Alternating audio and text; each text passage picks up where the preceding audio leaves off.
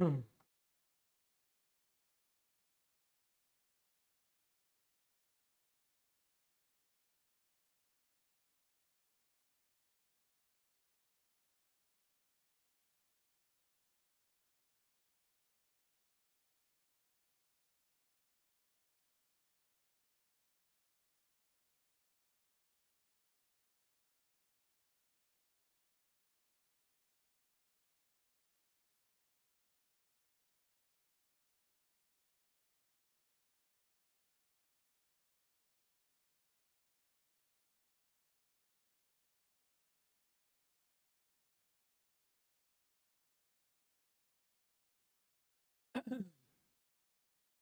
so hello everyone Mayank good afternoon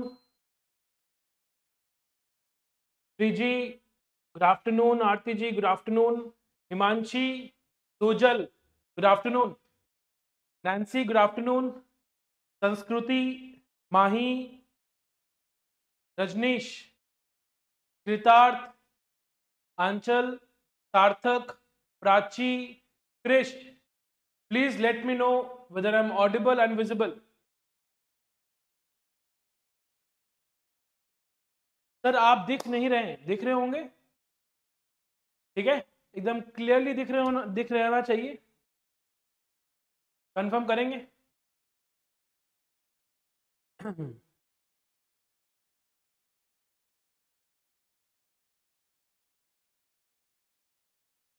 Tarun Kumar hello Achal yes sir audible तो Mayank I visible क्योंकि श्रीजी बोल रहे हैं I am not visible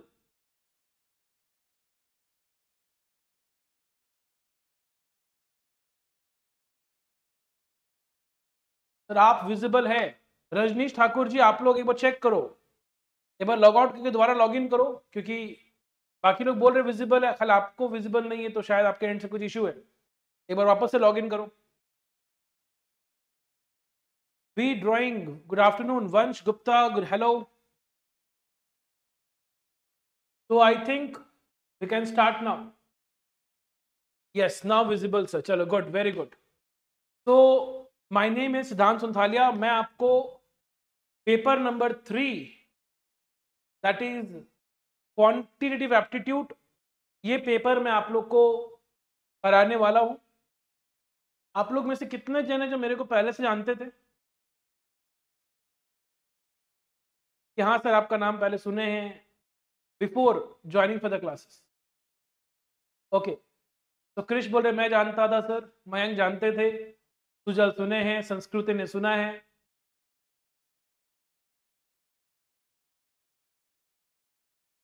ji S K creation बोल रहे हैं सर यूट्यूब में विजिबल हो लाइव क्लास में विजिबल नहीं हो, ऐसा नहीं है। Brother who is currently a C A was your student okay thank you sir जून में जो पेपर देंगे, वो सितंबर में दे सकते हैं? एकदम एकदम दे सकते हैं? चलिए गुड गुड गुड तो my elder sister told me okay great great great great तो गाइज़ पहला बात तो ये है, आप सभी का सीए में स्वागत है। सीए कोर्स में इंडिया का वर्ल्ड का the best course which is available for a commerce student not only for a commerce student for any person interested in finance is C ठीक है? और इस कोर्स में आप सभी का स्वागत है। ऑलरेडी आप लोग का दो क्लास हो चुका है और अब तक आपको बहुत सारा आइडिया दिया गया होगा रिगार्डिंग दिस कोर्स ठीक है? और मुझे नहीं लगता आपको इस कोर्स के बारे में मुझे और कुछ रिक्वायर रिक्वायर्ड है आपको बताने का। मैं straight away I think I can enter into our our subject right तो हम लोग अपने सब्जेक्ट में डायरेक्टली एंटर करने वाले हैं। और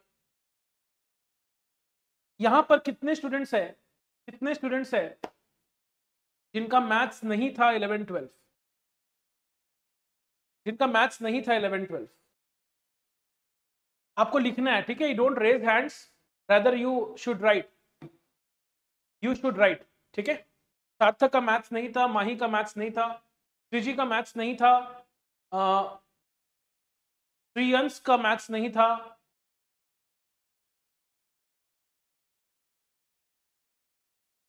पागवी का नहीं था, आंचल का नहीं था। हिमांशी, मेरा मैथ्स बहुत वीक था। तनिष्क का नहीं था। राजवी का मैथ्स नहीं था, ठीक है? मेघांशु का मैथ्स नहीं था। Now let me tell you something अभी तो जून का एग्ज़ाम नहीं हुआ ना। मानवी का भी नहीं था। तो मैथ्स था बट वीक था। देखो मैथ्स एक्चुअली मैं बोलता हूँ स्टूडेंट के तीन कैटेगरी होते हैं। एक होते हैं जिनका मैथ्स नहीं होता है। एक होते हैं जिनका मैथ्स होता है और स्ट्रॉन्ग था। जैसे मेरे जैसे बच्चे, कि मैथ्स था और स्ट्रॉन्ग भी था। और तीसरा कैटेगरी होता है जिनका मैथ्स होते हुए भी नहीं था। तो कुछ लोग लिंक कर पा रहे होंगे मेरे बात से, कि मैथ्स होते हुए भी नहीं था का मतलब सर आप मेरे बारे में ही बात कर रहे हैं। तो कितने लोग इस कैटेगरी में आते हैं कि मैथ्स होते भी नहीं था सर मेरा?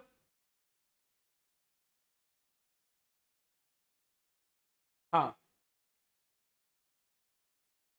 हाँ होते हुए भी नहीं था। तो देखो, जिनका होते हुए भी नहीं था ना, वो अल्टीमेटली मैं उसी कैटेगरी मानता हूँ कि आपका मैथ्स था ही नहीं। ठीक है? इसलिए आप यही मान के करो। हाँ जिनका था भी नहीं, उन्होंने पढ़ा ही नहीं। हाँ जिनका नहीं था वो तो ठीक है। देखो, मैं अब एक चीज़ बताता हूँ आपको। दिसंबर 23 दिसंबर 23 में अभी ऑब्वियसली जून 24 का एग्ज़ाम अभी हुआ नहीं है। दिसंबर 23 में एक नॉन मैथ स्टूडेंट जिसका 11 12 मैथ्स नहीं था, बच्चा था यूपी का and he scored 98 through our classes आपको कुछ समझ में आ रहा है इससे? कि हम लोग ये कभी अज्यूम ही नहीं करते। रदर, हम पढ़ा रहे हम ही हैं तो हम लोग कहाँ से आए? मैं ये अज्यूम ही नहीं करता हूँ कि आपका मैथ्स था। अगर जिस बच्चा का इलेवन ट्वेल्व मैथ्स नहीं था, उसको अगर 98 आ रहा है मतलब ऑब्वियसली आपको समझ में आ रहा होगा कि हम उसको ज़ीरो से लेके हीरो बनाए मैथ्स में। लेकिन में सिर्फ़ ताली तो एक हाथ से नहीं बचता है। दो हाथ से बचता है। मैंने तो मेहनत किया ही है, लेकिन वो डबल मेहनत भी किया है। मेरा मेहनत था, उसका डबल मेहनत था। तो अगर आप मेरे मेहनत के साथ साथ अगर आप डबल मेहनत करने के लिए रेडी है तो लेट मी एश्योर यू आप जो ये सोच के आए थे ना कि मैथ्स में हमको बस पास करना है, मैं आपका एश्योरेंस दे रहा हूँ 85 बहुत खराब बात करे तो 85 के नीचे किसी बच्चा का नहीं आएगा। लेकिन पॉइंट क्या है? हम मेहनत करेंगे और आपको डबल मेहनत करना है। हम मेहनत करेंगे और आपको डबल मेहनत करना है, ये इंश्योर करना होगा। अगर ये आप इंश्योर कर सकते हैं तो definitely you are going to rock in this paper 98 can you understand एक बच्चा का 95 जिसका मैथ्स नहीं था, जिसका मैथ्स था, हम लोग के यहाँ से तो 100 में 100 था। 100 upon 100 in maths from Jammu.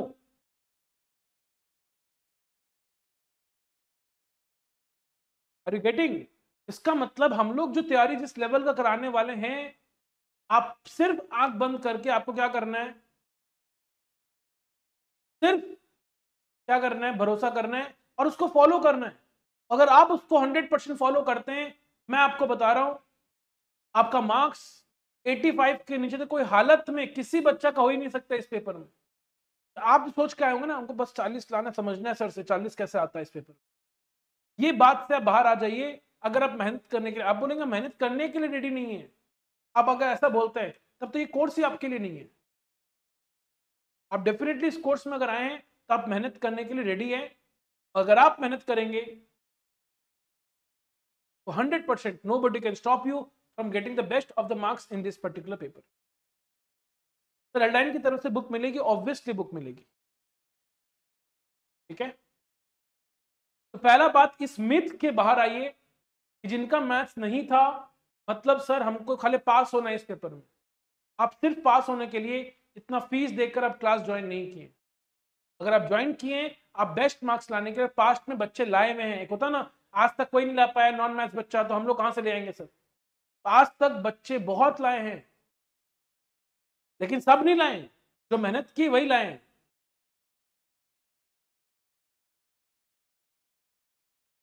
ठीक है?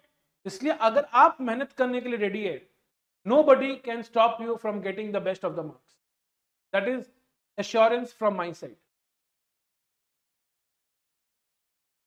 is it fine everyone आप सभी को मेरा बात क्लियर है?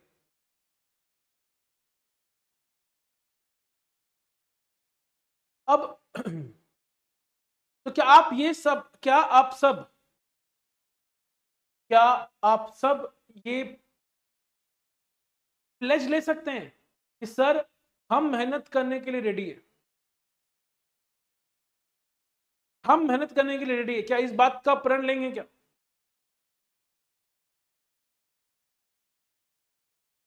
एकदम रेडी है? वेरी वेरी गुड सब कोई रेडी है. वेरी गुड और अगर आप रेडी है मैं बता रहा हूँ, आज के बाद जो भी बच्चा जिनका स्पेशली मैथ्स नहीं था या मैथ्स वीक था, आप इसी टारगेट सच बताना आप यही टारगेट लेके क्लास में घुसते कि नहीं घुसते?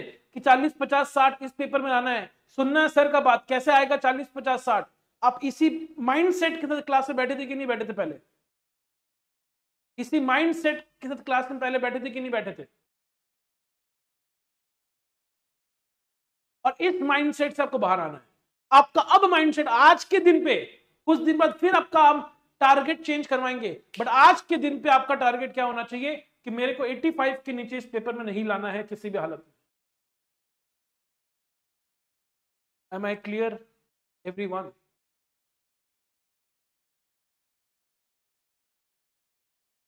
सबसे पहले, ये जो पेपर हम लोग आज पढ़ने जा रहे हैं, ये जो पेपर हम लोग आज जो स्टार्ट कर रहे हैं ये सीए कोर्स का सीए फाउंडेशन का पेपर नंबर थ्री है। ये सीए फाउंडेशन कौन सा पेपर है? Paper number three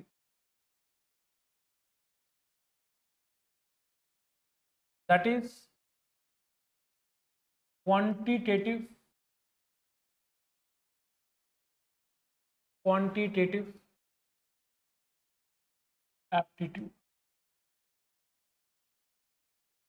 short में इसको हम बोलेंगे क्यूए शॉर्ट में बोलेंगे क्यूए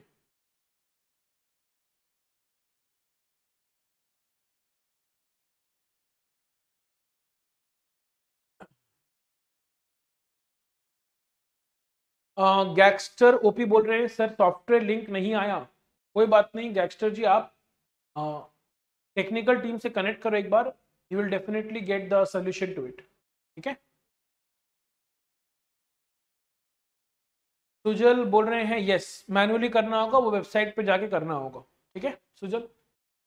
ओके क्वांटिटेटिव एप्टीट्यूड अगर मैं इस पेपर के बारे में बताऊँ, सबसे पहला बात आईसीआई भी समझता है। आईसीआई भी समझता है कि बहुत बच्चे का मैथ्स नहीं होता इलेवन ट्वेल्थ आज सुबह से आपने दो पेपर का तैयारी स्टार्ट किया, एक अकाउंट्स का, एक लॉ का। आप दोनों में सुने होंगे कि ये आपका सब्जेक्टिव पेपर है। ये आपका एक सब्जेक्टिव पेपर है। But let me tell you इस पेपर के बारे में बताएँ तो ये आपका एक सब्जेक्टिव नहीं, ये आपका एक objective paper objective type paper है। ऑब्जेक्टिव टाइप का मतलब ऑब्जेक्टिव टाइप का मतलब क्या होगा? जैसे मान लो क्वेश्चन नंबर वन अब क्वेश्चन वन में तुमको चार ऑप्शन मिलेगा। देखो आईआईटी वगैरह में क्या होता है? आईआईटी वगैरह में क्या होता है? एक एमसीक्यू का दो आंसर भी करेक्ट हो सकता है। लेकिन लेकिन सीए में ऐसा नहीं है। एक क्वेश्चन का एक ही आंसर करेक्ट होगा only one answer can be correct there can not be multiple option मतलब आप जब मार्क करेंगे तो किसी एक ही ऑप्शन को मार्क करेंगे। ना कुछ बच्चे बोलेंगे, सर, इससे अच्छा तो हम क्या करेंगे ना? हम थोड़ा मोटिवेट हो गए। क्या चीज़ के लिए मोटिवेट हो गए? सर हम एक मूवी देखे थे स्टूडेंट ऑफ़ द ईयर देखें student of the year movie पहला वाला। स्टूडेंट ऑफ़ द ईयर पहला वाला देखें? पहला वाला स्टूडेंट ऑफ़ द ईयर देखे हैं क्या? बताइए। देखें उसमें एक लड़का था, जीत खुराना। पहला असाइनमेंट जो था उन लोग को, वो तो कुछ एमसीक्यू टेस्ट था। एल्डाइन के बैच में लाइव क्लास शो नहीं हो रही। होना चाहिए। बाकी लोग हैं ज्वाइंट ठीक है, अब एक बार टेक्निकल टीम से कनेक्ट करो समझ आ जाएगा आपको। हाँ तो उसमें क्या हुआ? पढ़ने वाला बच्चा कौन था? सिद्धार्थ मल्होत्रा था पढ़ने वाला बच्चा। लेकिन जीता कौन? जीत खुराना, जो कि पढ़ाई करता ही नहीं था। उसको पूछा गया ना कि भाई तुम क्या किया? जो तुम जीत गया। तो बताया वो तुम क्या के अक्कड़ बक्कड़ बम्बे बो, अस्सी नब्बे पूरे सौ। हम तो ऐसे आंसर कर दिया और मेरा हम फ़र्स्ट हो गए। तो सी में ऐसा नहीं है। तुम यहाँ पर गेम खेलोगे गेम खेल के तुम सोचोगे तुम्हारा आंसर सारा राइट हो जाएगा और तुम टॉप कर जाओगे, ऐसा होने वाला नहीं है। आपको यहाँ पर मेहनत करना होगा। देखो, मेहनत मतलब हम बोलना क्या चाह रहे हैं? एक चीज़ समझना होगा आपको। मैं तीन स्टूडेंट का बात कर रहा हूँ। केस वन फ़र्स्ट स्टूडेंट है। केस टू में सेकेंड स्टूडेंट है और केस थ्री में थर्ड स्टूडेंट का बात कर मान लो एग्ज़ाम में पाँच क्वेश्चन आया।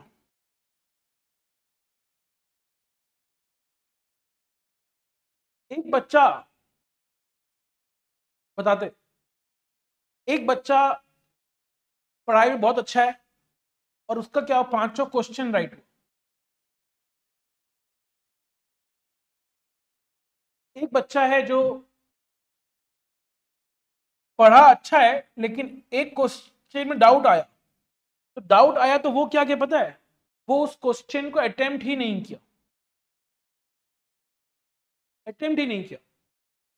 और एक तीसरा बच्चा है, जो केस टू के जैसे ही था, लेकिन वो फोर्थ वाले में डाउट था उसको तो वो क्या, किया पता है? वो क्या, किया गैस वर्क किया। और गैस वर्क किया तो उसका आंसर यहाँ पे क्या हो गया? रॉन्ग हो गया।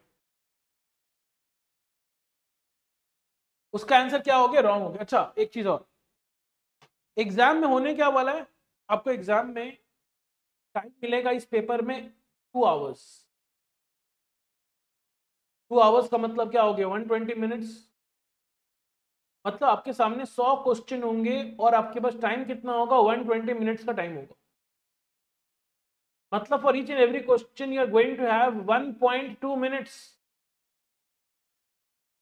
1.2 minutes समझ में आ रहा है मैथ्स 1.2 मिनट्स एकदम क्लियर है? ठीक है। अब क्या हुआ? एक बच्चा, तीन बच्चा हुआ। सौ क्वेश्चन आएगा और सौ मार्क्स है। मतलब हर एक क्वेश्चन कितने मार्क्स का होगा? मतलब हर एक क्वेश्चन कितने मार्क्स का होगा? अगर 100 मार्क्स का पेपर है और 100 क्वेश्चन है, each question is going to carry how much marks what do you think? Obviously one marks. तो मेरा क्वेश्चन है, बताओ, पहला बच्चा को मार्क्स कितना मिलेगा? ऑब्जेक्टिव का मतलब हो गया एमसीक्यू बेस्ड रिटर्न टेस्ट नहीं है। आपका एमसीक्यू में खाली आंसर्स को मार्क करना है।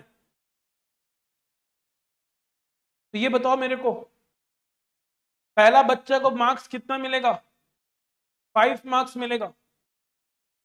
अच्छा सेकेंड बच्चा को? सेकेंड बच्चे को कितना मिलेगा? फोर मिलेगा, क्योंकि उसने एक क्वेश्चन नहीं अटेम्प्ट किया। लेकिन पता है थर्ड बच्चा भी चार राइट किया है, लेकिन थर्ड बच्चा को पता कितना मिलेगा? थ्री पॉइंट सेवन फाइव मतलब दोनों बच्चा सेम नंबर ऑफ़ क्वेश्चंस का अटेम्प्ट किया है, लेकिन फिर भी थर्ड बच्चा को मार्क्स कितना मिलने वाला है? 3.75 मिलने वाला है। मतलब क्या किया? मतलब क्या हुआ?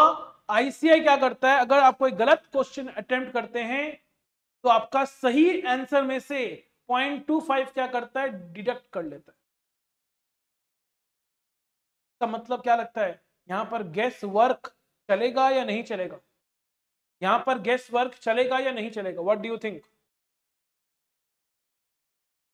यहाँ पर गेस वर्क चलेगा या नहीं चलेगा? नहीं चलेगा। देखो, मैं ये नहीं बोल रहा हूँ, एकदम नहीं चलेगा। बट आँख बंद करके नहीं चलेगा। आप लोग तो वेब सीरीज़ देखते हैं। स्टॉक मार्केट का जो आया था, क्या बोला था? रिस्क है तो इश्क है। तो रिस्क लेंगे हम लोग। ऐसा नहीं है रिस्क नहीं लेंगे। बट एक लिमिट तक लेंगे, जहाँ तक हम लोग झेल पाए। जहाँ तक झेल पाए, उतना ही लेंगे। उसके बियॉन्ड नहीं लेंगे। थोड़ा तो रिस्क बनता है भाई। मार्क्स के लिए थोड़ा रिस्क लेंगे, लेकिन ज़्यादा नहीं ले सकते हैं। आपको सिलेबस के एंड तक आपको ये हम ज़रूर बता देंगे किस बच्चे को कितना रिस्क लेना चाहिए, वो हम आपको ज़रूर बताएँगे। आपको यहाँ तक मेरा बात समझ में आया क्या? यस और नो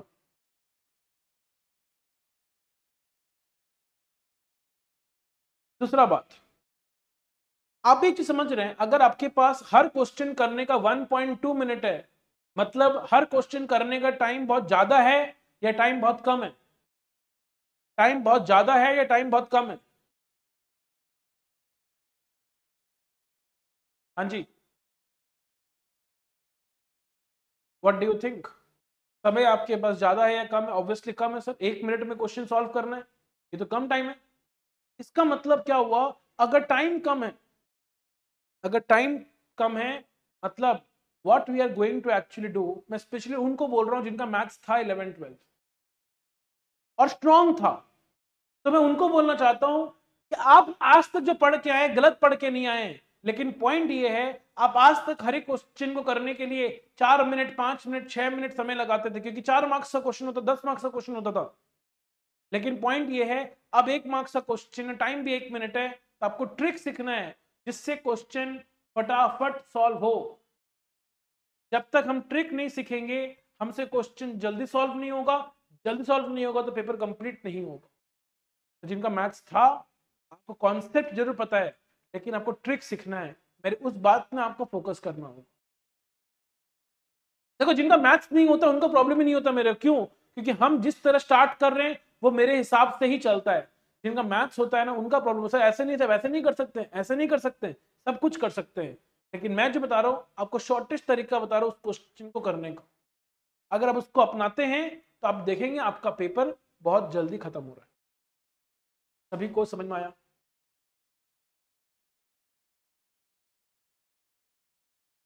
इसके अलावा, जब टाइम इतना कम है, जैसे मैं था सीबीएसई बोर्ड से तो ऑब्वियसली हम लोग को क्या था? मैथ्स में कैलकुलेटर अलाउड नहीं था। क्या आज भी सीबीएसई बोर्ड में ऐसा ही है क्या?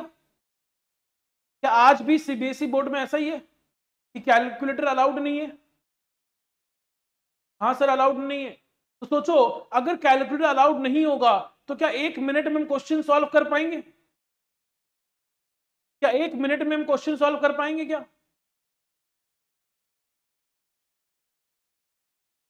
क्या एक मिनट में क्वेश्चन सॉल्व हो पाएगा? सॉल्व ही नहीं हो पाएगा। तो अगर सॉल्व नहीं हो पाएगा तो क्या करना पड़ेगा?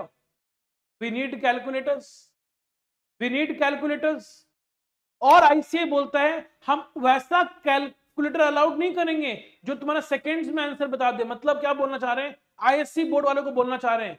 आप लोग यूज़ करते थे साइंटिफिक कैलकुलेटर जिसमें लॉग का फ़ंक्शन होता है परमुटेशन कॉम्बिनेशन बहुत सारा फ़ंक्शंस होता है। Scientific calculator are not allowed in the exam if you are carrying a scientific calculator आपका पेपर कैंसिल हो सकता है। You are allowed to use only commercial calculator I think आप सभी जानते हैं कमर्शियल कैलकुलेटर्स किसको बोलते हैं?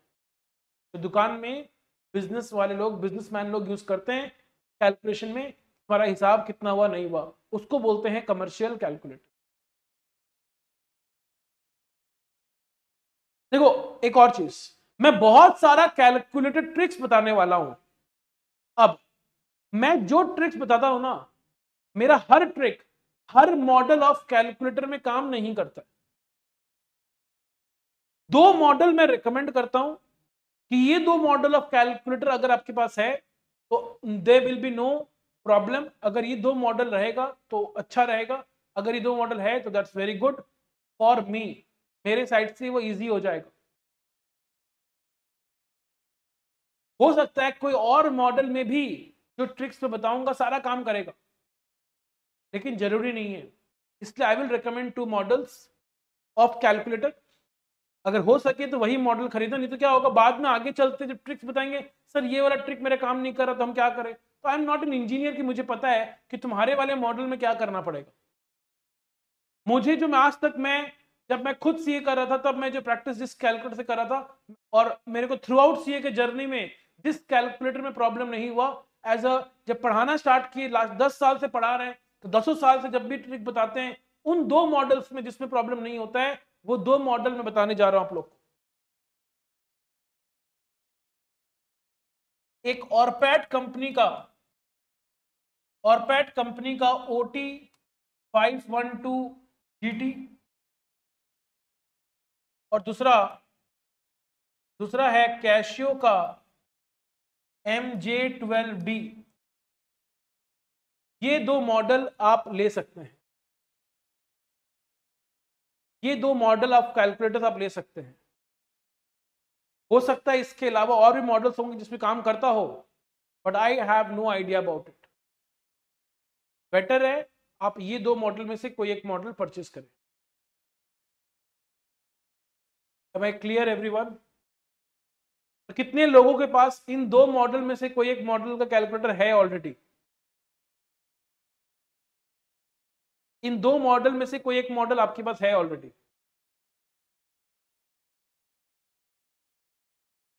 हाँ जी। एग्जैक्टली exactly यही मॉडल होना चाहिए। खाली कंपनी नाम देखना नहीं आपको मॉडल भी देखना है। एक कंपनी का बहुत सारे मॉडल्स होते हैं। वेरी गुड तनिष्क आंचल के पास भी, फागवी के पास फागवी और पैट का देख लो O T five one two G है ना? हेमंत, आप भी चेक करो। अब जो कैशियो बोल रहे हैं, उसमें एम जी ट्वेल्व डी होना चाहिए। एम जी ट्वेल्व डी ही होना चाहिए। है तो? चलो बढ़िया। जिनके पास नहीं है please make sure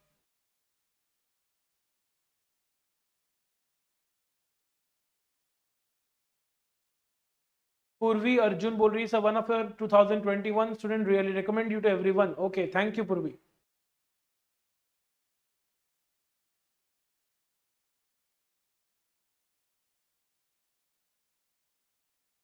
Okay it's M J twelve D okay बढ़िया बढ़िया बढ़िया। गुड तो तो ये कैलकुलेटर आपके पास रहना चाहिए। क्या मेरा बात हंड्रेड परसेंट क्लियर है सभी को? क्या यहाँ तक मेरा बात सभी को हंड्रेड परसेंट क्लियर है? अब इसके अलावा कुछ और बातचीत? अब थोड़ा सा हम लोग सिलेबस का बात करें। थोड़ा सा सिलेबस का बात करें। मैं आपको यह दिखाना चाहता हूँ कि कैसे हम लोग बहुत आसानी से, बहुत आसानी से इस पेपर में मार्क्स स्कोर कर सकते हैं। सिलेबस डिफाइंड ही वैसे। है जैसे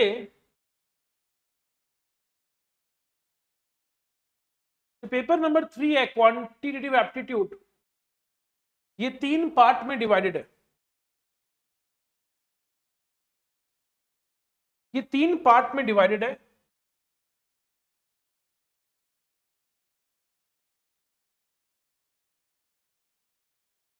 एक है बिज़नेस मैथमेटिक्स दूसरा है लॉजिकल रीजनिंग और तीसरा है statistics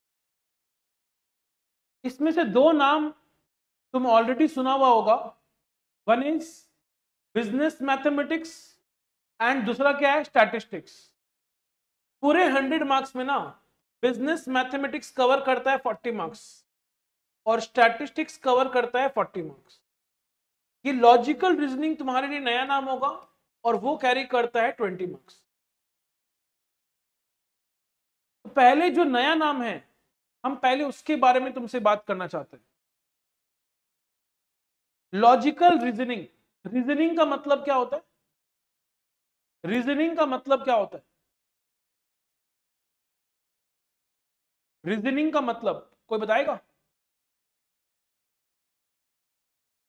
Anyone what's the meaning of reasoning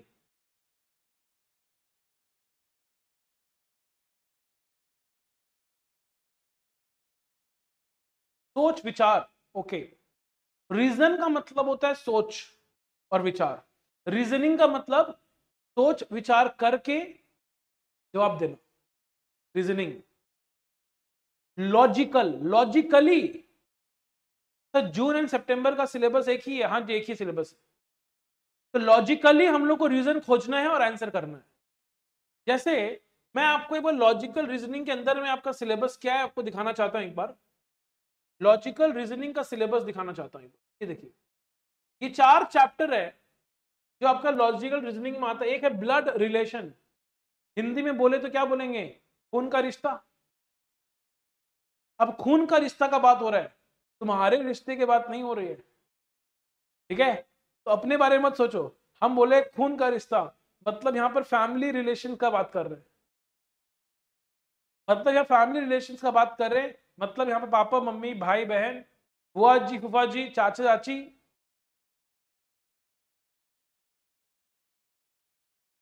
ठीक है? हम लोग इसका बात कर रहे हैं।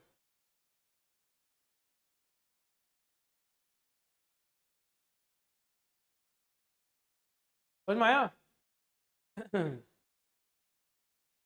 तो क्या इसमें कुछ पढ़ाने का है? क्या बुआ जी किसको बोलते, फूफा जी किसको बोलते, चाचा किसको बोलते, चाची किसको बोलते, ये पढ़ाने का है? नहीं, तुमको लॉजिकली सोचना जवाब देना है। तुमको बोलेगा P is the brother of Q Q is the sister of S Q is the father of D ऐसे करके कुछ बोलेगा और पूछेगा, बताओ, ये कौन है? तो कुछ पढ़ाने का ही नहीं। सिटिंग अरेंजमेंट एक और चैप्टर दिख रहा है सिटिंग अरेंजमेंट सिटिंग अरेंजमेंट में क्या है? What is there in sitting arrangement sitting arrangement का मतलब क्या हो गया? सिटिंग अरेंजमेंट का मतलब हो गया, बोलेगा A is sitting to the right of B C is sitting to the left of A D is sitting at the extreme end तो कौन कहाँ बैठा हुआ है? उसके बारे में सिटिंग अरेंजमेंट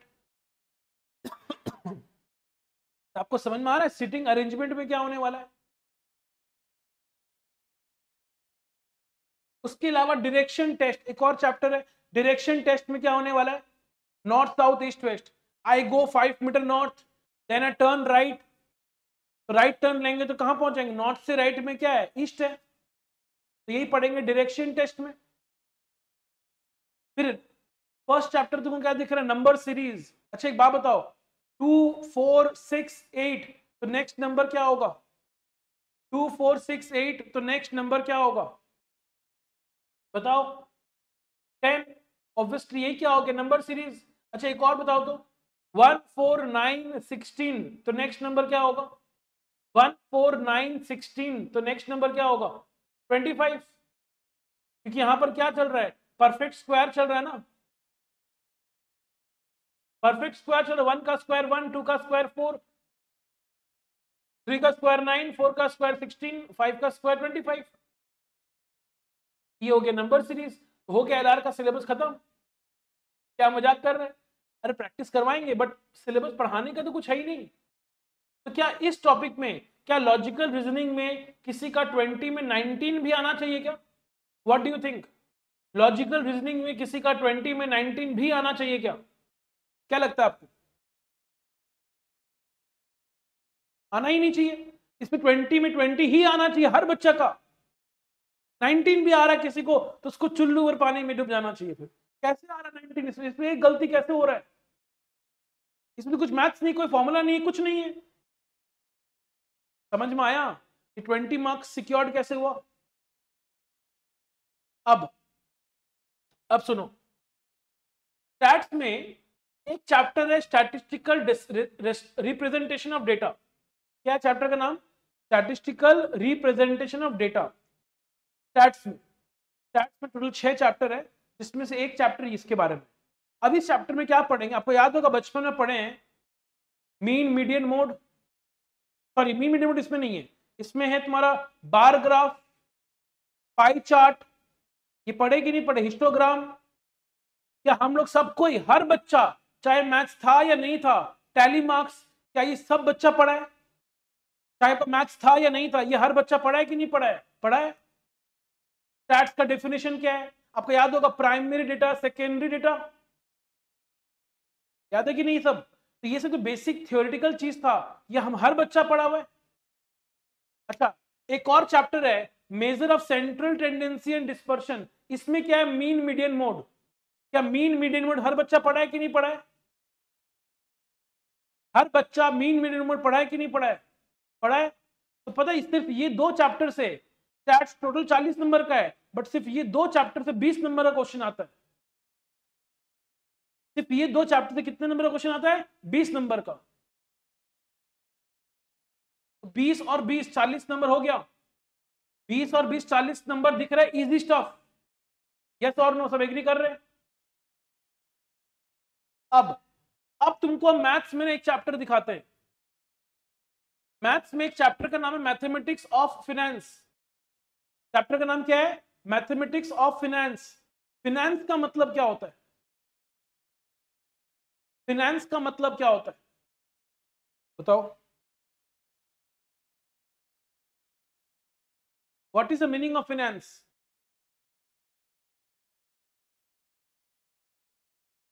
money जब भी हम लोग फिनेंस का बात करते हैं मतलब पैसा। आप सीए कोर्स ज्वाइन क्यों किए? बताइए। आप लोग सीए क्यों ज्वाइन किए?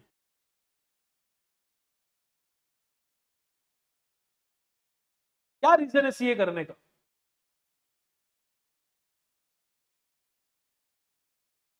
हाँ जी। आकाश बोल रहे इनकम के लिए, बहुत सारा पैसा कमाने के लिए वेरी गुड टैग के लिए, सिर्फ़ टैग के लिए तो कोई नहीं खड़े टैग लगी करोगे क्या ज़िंदगी में? पैसा भी तो चाहिए। तो हम ये जानते हैं, हम ये जानते हैं, सर, एक अच्छा डिग्री आ गया प्लस पैसा भी बहुत इस डिग्री के थ्रू बहुत सारा स्कोप हो जाता है मेरे पास। बोलो हाँ कि नहीं? तो ये चैप्टर बेस है। अगर पैसा बनाना है फाइनेंशियल मार्केट से तो ये उस चैप्टर उस, उस फ़ील्ड ऑफ़ मतलब नॉलेज का वो ये बेस है। मैथमेटिक्स ऑफ़ फाइनेंस इसके बिना आप फाइनेंस नहीं समझ सकते और सीए का तो one of the core thing is finance बोलो हाँ कि नहीं? यस और no even going into CA inter and CA final कुछ कुछ सब्जेक्ट है जो बिना फाइनेंस का हो नहीं सकता है। वो पूरा फाइनेंस के ऊपर ही है। जैसे सीए इंटर में एक पेपर आएगा फाइनेंशियल मैनेजमेंट सीए फाइनल में एक पेपर आएगा स्ट्रेटेजिक फाइनेंशियल मैनेजमेंट वो इस चैप्टर के बिना हो ही नहीं सकता।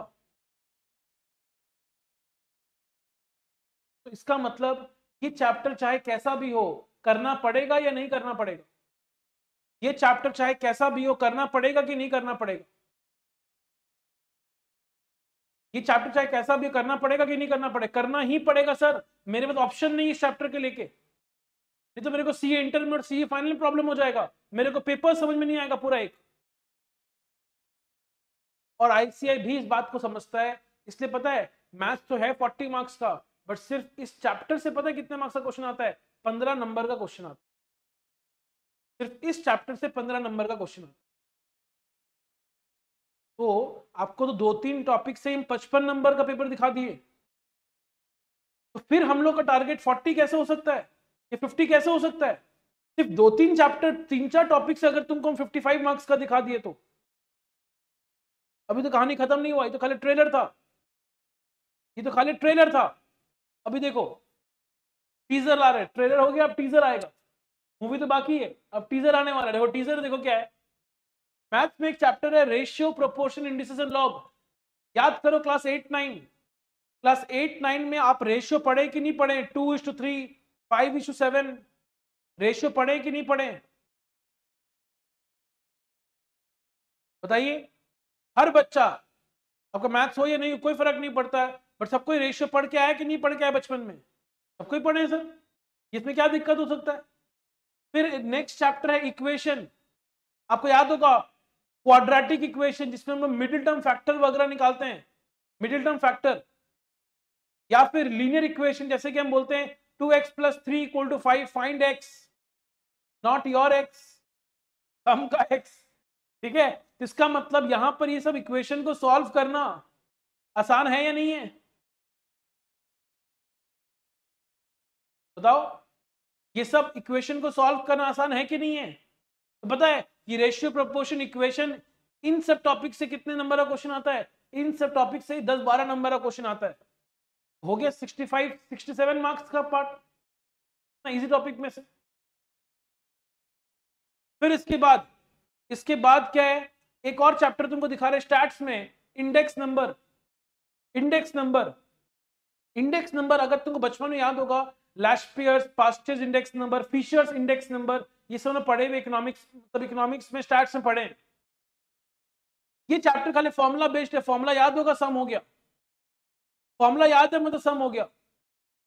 छह सात नंबर का क्वेश्चन इस चैप्टर से आता है। तुमको तो 75 मार्क्स अराउंड तुमको क्या दिख रहा है? कि कितना इजी स्टफ़ है 75 मार्क्स तो। हाँ रिमेनिंग 25 मार्क्स में क्या मेहनत है? बट 75 मार्क्स में तो मेहनत ही नहीं है। मतलब 75 के नीचे तो किसी का ही नहीं आ सकता कभी। हाँ 25 में जो जितना ज़्यादा मेहनत करेगा 10 मार्क्स तक मेहनत करना बहुत आसान है। रिमेनिंग 15 जो होता है, उसमें जो डबल मेहनत करेगा, उसको उतना रिवार्ड मिलेगा। तो क्या आपको एक्चुअली लग रहा है कि हम जो स्टार्टिंग में बोल रहे थे 80 85 का जो बात कर रहे थे that is achievable by anyone चाहे मैथ्स था या नहीं था। चाहे मैथ्स था या नहीं था it is achievable by anyone क्या ये चीज़ समझ में आया? कि कोई भी एक्चुअली अचीव कर सकता है। सर ऐसे ही नहीं बोल रहे थे। खाली झूठ मूठ को मोटिवेट करने के लिए सर नहीं बोल रहे थे। बट एक्चुअली पॉसिबल है, क्योंकि सिलेबस डिजाइंड ही ऐसे किया हुआ है। यस सर आपने मोटिवेट कर दिया। वेरी गुड सिलेबस ही ऐसा है कि हम मोटिवेट मेरा ऑब्जेक्टिव नहीं तुम मोटिवेट हो गया है। तो दैट्स गुड वही तो चाहते थे। ठीक पर समझिए तो सही, सिलेबस क्यों? डायरेक्टली हम चालू कर देते, कुछ होता ही नहीं। हमारे मन में फिर भी रहता कि सर बोल तो दिए 85 सर ला सकते, हम थोड़ी ला सकते। फिर भी मन में कहीं ना कहीं था। मेरे बोलने के बाद भी स्टार्टिंग मन में कहीं था, सर ला सकते, हम थोड़ी ला सकते हैं। वो बच्चा जो लाया था लास्ट टाइम 98 वो बहुत तेज होगा, इसलिए ले आया। हम कहाँ से ला पाएँगे? तो आपको दिख पाया? वो कैसे लाया होगा? क्योंकि सिलेबस ही डिफाइंड ऐसे है। ठीक है? इस पेपर में आई कैन टेल यू 75 फ्रंट 75 स्कोर करना is not at all difficult मतलब सेवेंटी 75 करके कुछ करना ही नहीं है। उससे भी बेसे आपको मेहनत करना है।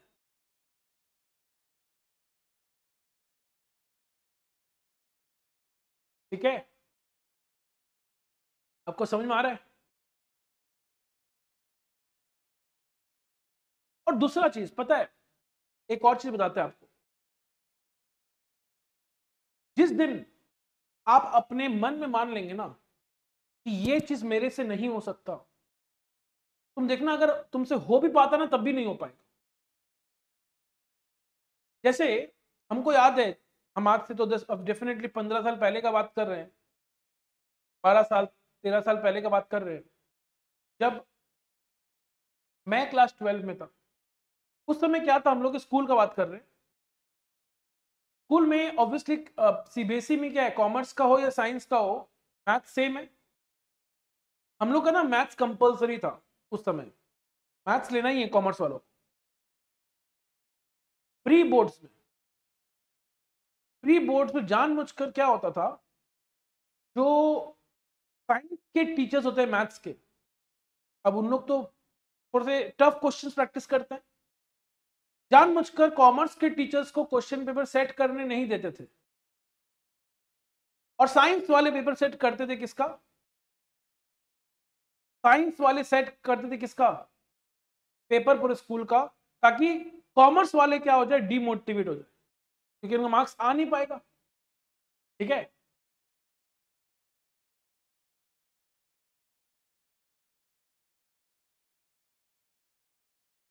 अब सुनो कहानी। तो मार्क्स आ नहीं पाएगा दोनों क्या होंगे? डिमोटिवेट होंगे। ठीक है? अब ये बात हम लोग को अच्छा मैथ्स मेरा बचपन से ना बहुत स्ट्रांग रहा है, बहुत स्ट्रांग मतलब स्कूल में बात करें तो आई थिंक या तो फ़र्स्ट हाइस्ट में रहता था या सेकेंड रहता था। टेंथ तक तो। और इलेवन ट्वेल्व में तो कोई सवाल ही नहीं है कि सेकेंड हाइस्ट कभी आया हो मेरे मैथ्स में। हाइस्ट मेरा ही है। अब तुमको प्री बोर्ड कहानी बताते हैं। हम लोग के जो एच थे कॉमर्स के, वो बताए कि देखो भाई स्पेशली मेरे को बताए, क्योंकि आई वॉज़ एज मैथ्स में हाइस्ट मेरे आता था इलेवन में बोलो ट्वेल्व में बोलो। तो बोले कि भाई देखो ऐसा सा बात है, इस बार और हर बार ही होता है साइंस वाले सेट कर रहे हैं। तुम लोग डीमोटिवेट मत होना मार्क्स कम आएगा, तुम लोग का देखना। तुम लोग मार्क्स कम आएगा, ऐसे बोले। और तुम लोग डीमोटिवेट मत होना, क्योंकि बोर्ड्स में पेपर वैसा सेट नहीं होता है। हम बोले, सर, करने दीजिए टफ आपको इस बार थोड़ा स्कूल का थोड़ा सा पास्ट रिकॉर्ड को चेंज करना है, ठीक है? और हमको बाकी का तो नहीं पता, कॉमर्स में क्या करेंगे, बट आप वेट कीजिए, क्योंकि हम पूरे साल इतना हम प्रैक्टिस किए, मैथ्स हमको पता है। ठीक है? I took it as a challenge देखते हैं इसमें कितना है दम। कोई भी आज जाए, पेपर सेट कर ले। हमको, मेरे मन में हमेशा क्या था, मैथ्स मेरे से अच्छा किसी को नहीं आ सकता। ऐसा था, ठीक है? तुमको लग सकता है गवर्नमेंट सर ऐसा बोल रहे तो मैंने क्या किया? चैलेंज ले लिया और मैंने तैयारी पूरे प्री बोर्ड्स के लिए स्पेशली प्री क्योंकि मैथ्स का वैसे मैं तैयारी बहुत पहले हो चुका था, मैंने प्री बोर्ड्स के लिए एज अ चैलेंज ले लिया था और मैं साइंस के सारे बुक्स से प्रैक्टिस किया। प्री बोर्ड का रिज़ल्ट आया। अच्छा second highest pre board maths second highest कितना था? 78 प्री बोर्ड में कॉमर्स स्ट्रीम का बात कर रहे हैं। कॉमर्स स्ट्रीम का सेकेंड हाइएस्ट हुआ 78 आउट ऑफ़ 100 20 जोड़ के, ठीक है? जो होता है ना प्रैक्टिकल अपना। मतलब जो होता है 20 मार्क्स स्कूल के हाथ में होता है, वो जोड़ के, ठीक है? तो दैट इज़ 78 और फ़र्स्ट हाईएस्ट ऑब्वियसली किसका रहा होगा? क्या लगता है? मेरा ही था। क्या लगता है कितना मार्क्स आया होगा?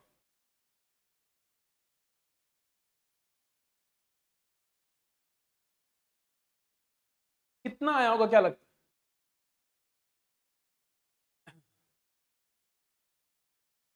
ठीक है तो क्रिश का खाली आंसर करेक्ट है। सिर्फ़ क्रिश का आंसर करेक्ट है 98 9898 मयंक का भी आंसर करेक्ट था। ठीक है, इसलिए आप अगर जिस दिन ये मान लेंगे ना कि मेरे से नहीं हो सकता तो नहीं हो पाएगा। लेकिन अगर आप मान लिए कि मेरे से ही हो सकता है तो पूरा मतलब ब्रह्मांड लग जाएगा उसके पीछे कि आपसे करवा के रहेगा प्रोवाइडेड आप मेहनत कर रहे हैं उसके पीछे। आपको मेहनत करना होगा अकॉर्डिंगली तभी जाकर आपको उसका फल मिलेगा। ठीक है? इसलिए कभी भी मन में मत मानना कि ये चीज़ मेरे से नहीं हो सकता। आप यही मान के हमेशा रहिएगा, हम हर चीज़ कर सकते हैं। हर चीज़ हम कर सकते हैं। और आप देखेंगे, आपसे चीज़ें जितना हो पाता है एक्चुअली आप उससे बेटर ही कर पाएँगे। आप उससे बेटर कर पाएँगे। ठीक है? तो कभी भी अपने आप को ये मत सोचना कि ये चीज़ मेरे से नहीं हो सकता। अरे क्यों नहीं हो सकता?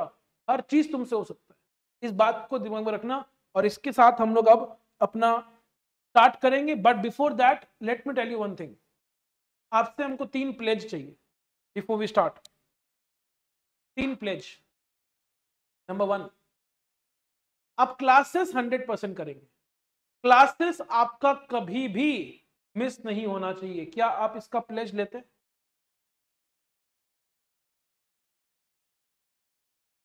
क्या इसका प्लेज लेते हो? Yes good number two number two homework आप रेगुलरली करेंगे. होमवर्क आप रेगुलरली करेंगे. एंड नंबर थ्री टेस्ट आप रेगुलरली देंगे. टेस्ट हर चैप्टर के बाद टेस्ट होगा. After every 50 percent syllabus test होगा. फुल सिलेबस का तीन मॉक होगा. तो टेस्ट बहुत सारे होंगे. और ये तीनों चीज़, मैं बता रहा हूँ, ये तीनों चीज़ जो बच्चा इंश्योर करेगा and this applies to every subject if you apply this in all the subjects I am telling you nobody can stop you from passing the CA foundation exam इतने सालों में, जब भी किसी बच्चे का क्लियर नहीं होता, हम पूछते इस तीन में तुम्हारा कौन सा चीज़ था जो तुम लैक किया था? आज तक एक भी बच्चा ऐसा नहीं मिला है, जो बोला, इस तीन में से कोई, तीन में तीनों चीज़ हम किए, लेकिन फिर भी क्लियर नहीं हुआ। हमेशा ही कोई ना कोई रीजन होता है इस तीन में से जिसमें बच्चा बोलता है सर, मेरा इस कारण से नहीं हुआ प्लीज़ फ़र्स्ट डे है, इसलिए आपको बता रहे हैं, ये तीनों चीज़ आप इंश्योर करें। अगर ये तीनों चीज़ इंश्योर करेंगे nobody can stop you from getting the best of the marks all the papers not only in this paper ठीक है? फिर ओके इसके अलावा एक लास्ट बात before we can start officially बहुत जन पूछते हैं, सर रिवीजन कैसे करना चाहिए? तो देखो भाई फ़र्स्ट रिविजन जब आप करेंगे, आपको सारे क्वेश्चंस प्रैक्टिस करना चाहिए। बहुत जन का हैबिट हो अच्छा ये तो इजी क्वेश्चन हो जाएगा। आपको समझना होगा, यहाँ पर टाइम कम है 1.2 मिनट है। आपको प्रैक्टिस करके ये देखना है, क्या 1.2 मिनट में क्वेश्चन आपसे हो रहा है कि नहीं हो रहा है? नहीं हो रहा है तो स्पीड बढ़ाना अगले क्वेश्चन के लिए। इसलिए आपको फ़र्स्ट रिविजन में हर क्वेश्चन को ही प्रैक्टिस करना चाहिए। ये हो गया पहला बात। दूसरा बात हो गया, हर क्वेश्चन में तुमको कुछ नया सीखने को मिलेगा। जिस क्वेश्चन में, जो तुम नया सीखा है, उस बात को इंश्योर करो कि वो तुम बुक में लिखो, क्या इस क्वेश्चन में ये नया सीखने को मिला है? जो क्वेश्चन तुमको लगता है, एक बार में सॉल्व नहीं हुआ, उसको इंसर्कल करके रखो, ताकि सेकेंड रिविजन में उस क्वेश्चन को इंश्योर करना है कि वो तुमसे सम सॉल्व हो रहा हो, वो तुमको इंश्योर करना है। तो आई थिंक आपको समझ में आ चुका होगा कि आपको अपना सेल्फ स्टडी जब करेंगे आप तो किस तरह से पढ़ाई आपको करना है इसके बारे में आपको समझ में आ चुका होगा। मैं कभी भी, मैथ्स का क्लास रेगुलरली होगा या कोई स्पेसिफिक डे रहेगा, मैथ्स रेगुलरली होगा। Every day accounts and maths आपका रेगुलर होगा एवरी डे होगा। एवरी डे इसी टाइम पे मैथ्स रोज रहेगा। ठीक है? अकाउंट्स एंड मैथ्स का टाइमिंग फिक्स्ड है और बाकी जो बीच वाला टाइमिंग है, उसमें आपका law and economics three three days करके चलता रहेगा। क्योंकि इन दोनों का सिलेबस बड़ा है। बहुत कुछ पढ़ने को है। Am I clear everyone क्या हम लोग अब अपना पढ़ाई स्टार्ट कर सकते हैं? क्या हम लोग अब अपना पढ़ाई स्टार्ट करें? Yes with this we shall officially start our course but obviously कोई व्हाट्सएप ग्रुप होगा आई थिंक टेलीग्राम ग्रुप रहेगा। Will be updated about it very soon हमें बुक्स कब मिलेगी? I will let you know tomorrow I will ask to the team and मैं आपको कल update करता हूँ। अभी इनिशियली अभी इनिशियली हम लोग दो तीन दिन कुछ बेसिक्स बात करने वाले ठीक है? कुछ बेसिक बात करने वाले तो तो देखते हैं हम लोग कि क्या बेसिक डिस्कशन अपना है। Let us see on that ठीक है?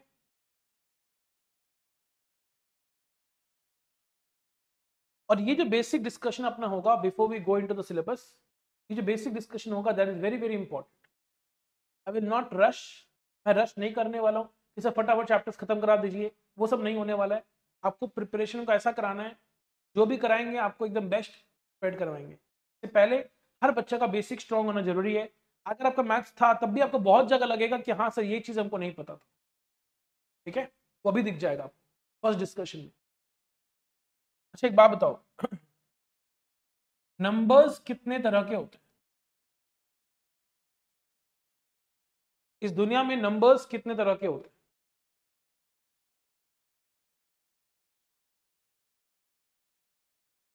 नंबर्स कितने तरह के होते हैं? आकाश बोल रहे तीन तरह के होते हैं। क्या क्या होते हैं भाई?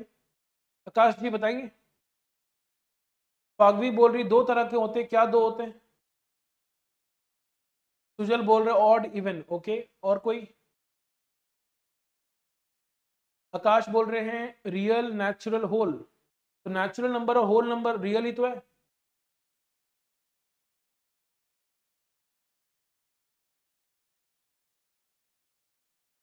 प्राइम एंड कॉम्पोजिट चलिए। क्रिश बोल रहे rational and irrational not exactly rational और इरेशनल जो है, वो एक हेड में आते हैं। उस टेलीग्राम ग्रुप या व्हाट्सएप ग्रुप कब से चालू होगा? वेरी सुन हाँ वेरी गुड सर्वेश सर्वेश यादव जी का आंसर अभी करेक्ट आया है। सर्वेश यादव जी का आंसर करेक्ट आया कि एक्चुअल में नंबर्स जो होते हैं ना, वो दो तरह के ही होते हैं। One is called real number and one is called imaginary number one is real number and one is imaginary number real number and imaginary number ठीक है real number and imaginary number sir हाँ जो भी चीज़ मैं board में लिख रहा हूँ मतलब आपको भी नोट करना है कि कभी नहीं पूछना है मेरे को। हमेशा ही ध्यान रखना, मैं जो भी चीज़ बोर्ड में लिख रहा हूँ मतलब आपको भी लिखना है। मेरा हैंड राइटिंग बहुत अच्छा आपको दिख रहा होगा। तो मैं हैंड राइटिंग प्रैक्टिस नहीं कर रहा हूँ। मैं अगर लिख रहा हूँ मतलब आपके लिए लिख रहा हूँ। ठीक है? मतलब जो भी बोर्ड में वो आपको लिखना है करेक्ट बताएँगे? रियल नंबर किसको बोलते हैं? कोई पता है किसी को? रियल नंबर किसको बोलते हैं?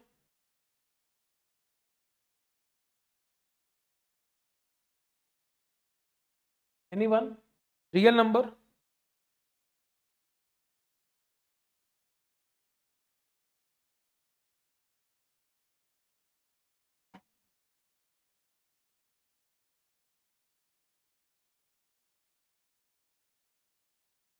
anyone? Real number? Include rational and irrational both number. Although तुम करेक्ट है, वो करेक्ट क्या जवाब दिया कि रियल नंबर दो तरह के होते हैं? One is called rational number and one is called irrational number ये बात करेक्ट है। लेकिन मेरा पॉइंट तो ये था कि रियल नंबर का मतलब क्या होता है? मतलब all the numbers are included in it. बात को समझना। सबसे पहले हम बात कर रहे हैं किसके बारे में? रियल नंबर्स के बारे में। तो देखो डेफिनेशन दो तरीके से बोल सकते हैं। या तो हम क्या बोल सकते हैं? कि भाई those numbers which exist in real life. Those numbers which exist in real life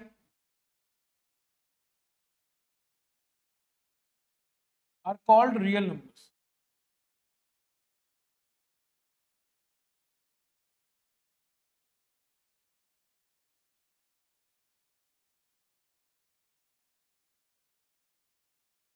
ठीक है those numbers which exist in real life are called real number जो रियल लाइफ में एग्जिस्ट करता है, ये तो हो गया सिंपल डेफिनेशन या फिर थोड़ा सा अच्छा डेफिनेशन हम बोले तो हम ये बोल सकते हैं,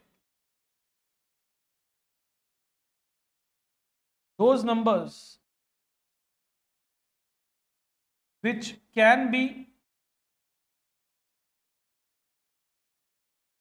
presented on a number line.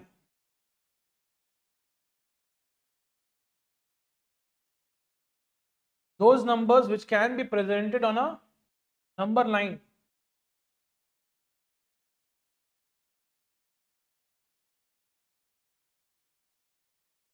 are called real numbers. अच्छा कोई जानता है नंबर लाइन क्या होता है नंबर लाइन क्या होता है anyone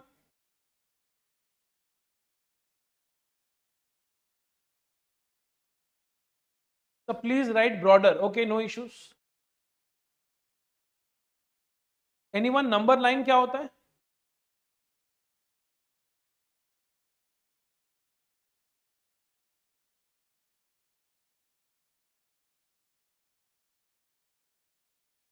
तो जिस लाइन में नंबर्स मार्क किए जाते हैं मतलब नंबर लाइन क्या होता है? जैसे होता था ना, बचपन में आपको याद होगा।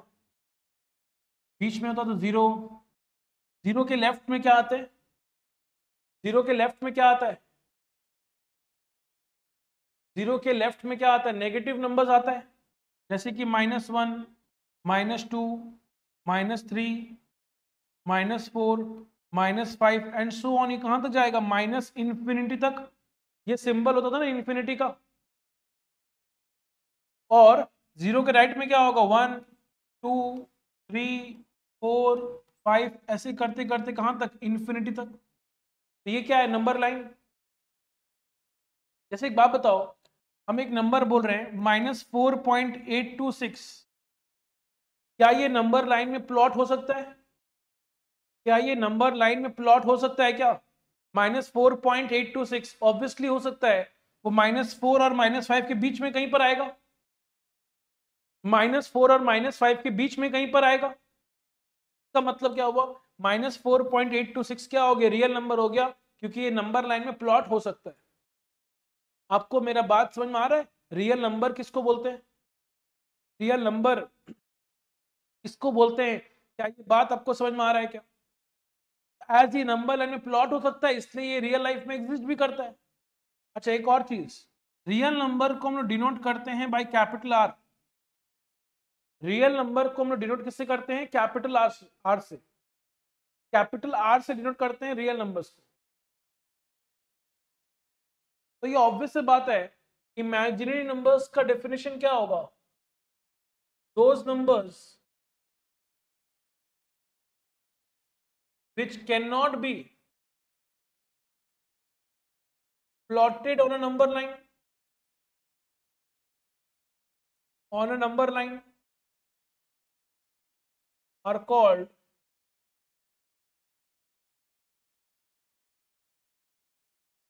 imaginary numbers जो नंबर नंबर लाइन में प्लॉट नहीं हो सकता, उसको क्या बोलेंगे? इमेजिनरी नंबर्स तो मेरा क्वेश्चन एक बात बताएगा? ऐसा कोई नंबर बताओ जो नंबर लाइन में प्लॉट नहीं हो सकता। ऐसा कोई नंबर बताओ जो नंबर लाइन में प्लॉट हो ही नहीं सकता। ज़ीरो बाई वन क्यों नहीं प्लॉट कर सकते? ज़ीरो बाई वन क्या होता है? ज़ीरो ही होता है। Zero by anything is what zero ना? ओके सर्वेश क्या बोल रहे हैं? अच्छा सृष्टि बोल रही है root two why not root two क्या बात कर रहे हो? क्योंकि रूट टू का वैल्यू निकाल लो ना कैलकुलेटर में. कैलकुलेटर में टू लिखकर रूट को प्रेस कर दो आंसर आ जाएगा. जितना आएगा उतना प्लॉट कर सकते हैं. नंबर लाइन में कर सकते हैं. क्यों नहीं प्लॉट कर सकते?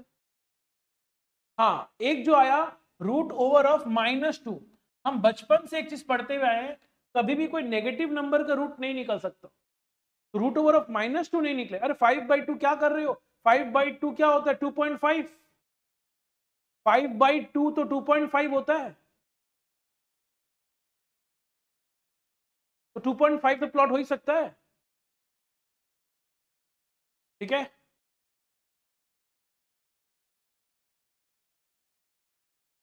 जितने भी इरेशनल नंबर बोल रहे हैं इरेशनल नंबर का मतलब क्या हो गया? तो बात बात करते हैं। एग्ज़ाम्पल पूछा अभी तुमसे हम। आपको समझ में आ रहा है क्या? Thank you Nikhil I was your December twenty three student thanks आपकी वजह से मेरे मैथ्स में सिक्सटी प्लस आए फ़र्स्ट गुड वेरी गुड चलिए, बताएँगे? आपको समझ में आ रहा है क्या?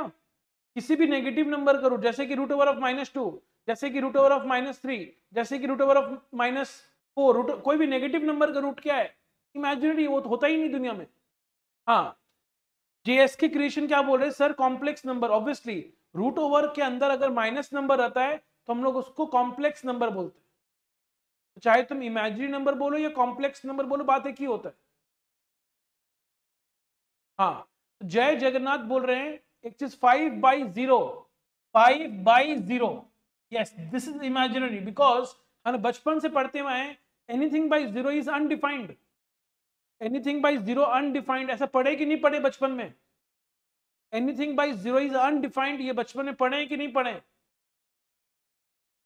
Anything by zero anything by zero क्या हो गया? इमेजिनरी या कोई नेगेटिव नंबर का रूट क्या हो गया? इमेजिनरी क्योंकि ये रियल लाइफ में एग्जिस्ट नहीं करता है। आपको इमेजिनरी नंबर का एग्ज़ाम्पल क्लियर है क्या? जिस तरह रियल नंबर्स को डिनोट करते हैं बाय आर वैसे ही इमेजिनरी नंबर्स को डिनोट करते हैं by small I imaginary numbers को डिनोट करते हैं बाय स्मॉल आई जो लोग imaginary and irrational number cannot be plotted. Imag, irrational number can be plotted Shreya जैसे टू का रूट इरेशनल नंबर हम समझाएँगे तो तुमको समझ में आएगा कि how it can be plotted ठीक है? विल स्टडी अहेड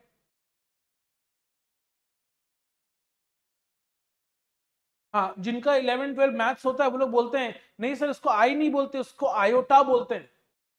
छोड़ो ना, क्या बोलते हैं? हम लोग बोलेंगे स्मॉल आई बोलेंगे।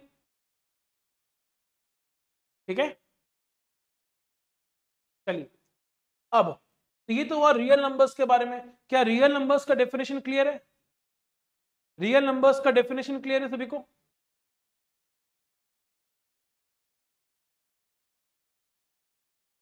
अब हम बात करेंगे किसके बारे में? रियल नंबर के बाद। अच्छा रियल नंबर जो होता है ना, मैंने क्या, दो तरह का होता है one is called rational number and one is called irrational number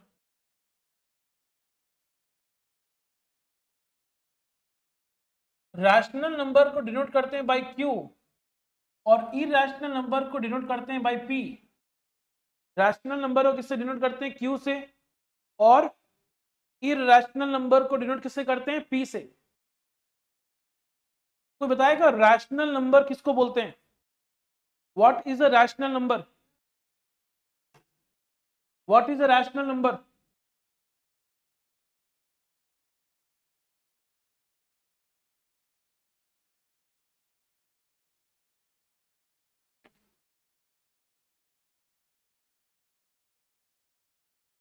yes.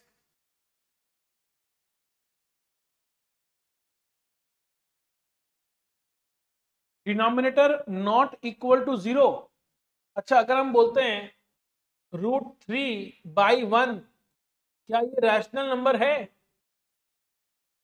Root three by one क्या ये रैशनल नंबर है? बट किसने बोला? डिनोमिनेटर खाली नॉट इक्वल टू ज़ीरो होना चाहिए। तो श्रेया, आपके हिसाब से तो root three by one is rational क्योंकि तुम बोल रहे any number which can be represented in the form of P by Q it is not in the form of P by Q कैसे फिर? पी बाई क्यू का मतलब क्या होता है? समथिंग बाय समथिंग है तो। Yes Shreya? Is it rational number? हाँ वेरी गुड एक्चुअल डेफिनेशन ऐसा नहीं है। रैशनल नंबर का एक्चुअल डेफिनेशन है। Those numbers which can be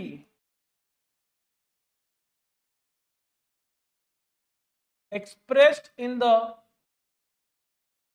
form of p by Q where P and Q are integers and q not equal to 0 and q not equal to 0 तो बोलने का मतलब क्या? जैसे मैंने बोला था रूट थ्री बाई वन तो ये पी बाई क्यू के फॉर्म पे तो एक्सप्रेस कर दिया हम। क्योंकि रूट थ्री को रूट थ्री बाई वन तो लिख ही सकते हैं। क्योंकि किसी के डिनोमिनेटर में कुछ नहीं होता तो क्या होता? है वन होता है। बट यहाँ क्या लिखा? Where P and Q are integers one अच्छा इंटीजर आप जानते हैं ना? इंटीजर तो आप जानते होंगे। इंटीजर किसको बोलते हैं? One two three four five या negative numbers minus five minus four minus three zero ये सारे क्या इंटीजर्स है? मतलब एग्जैक्ट नंबर्स चाहे वो पॉजिटिव हो, चाहे वो नेगेटिव हो। बट आप जानते हैं रूट थ्री को एग्जैक्ट नंबर नहीं है। रूट थ्री एग्जैक्ट नंबर नहीं है, अब चेक कर लो डेसिमल में आएगा। मतलब यहाँ पर जो p है, उसका value is not an integer और एज वो इंटीजर नहीं है, इसलिए ये रैशनल नंबर नहीं है। Very important P and Q both must be integer जैसे एक बात बताओ तो माइनस फाइव क्या ये रैशनल नंबर है? माइनस फाइव क्या ये रैशनल नंबर है? क्या ये रैशनल नंबर है? हाँ है। क्योंकि माइनस फाइव क्या लिख सकते हैं? माइनस फाइव बाई वन तो क्या ये पी बाई क्यू में हुआ या नहीं हुआ? हम एक्सप्रेस कर दी पी बाई क्यू में। और माइनस फाइव एंड वन ये दोनों इंटीजर है कि नहीं है? हाँ सर माइनस फाइव भी इंटीजर है वन भी इंटीजर है and Q not equal to zero है। जितने भी इंटीजर होते हैं ना, उनको आप पी बाई क्यू के फॉर्म पे लिख सकते हैं and Q not equal to zero के फॉर्म पे होगा। All the integers are rational number जितने भी इंटीजर्स होते हैं, वो सारे के सारे क्या हैं? रैशनल नंबर है। ठीक है? समझ में आ रहा है? Root three by one integer है। Root three by by one मतलब? क्या बनना चाह रहे आप?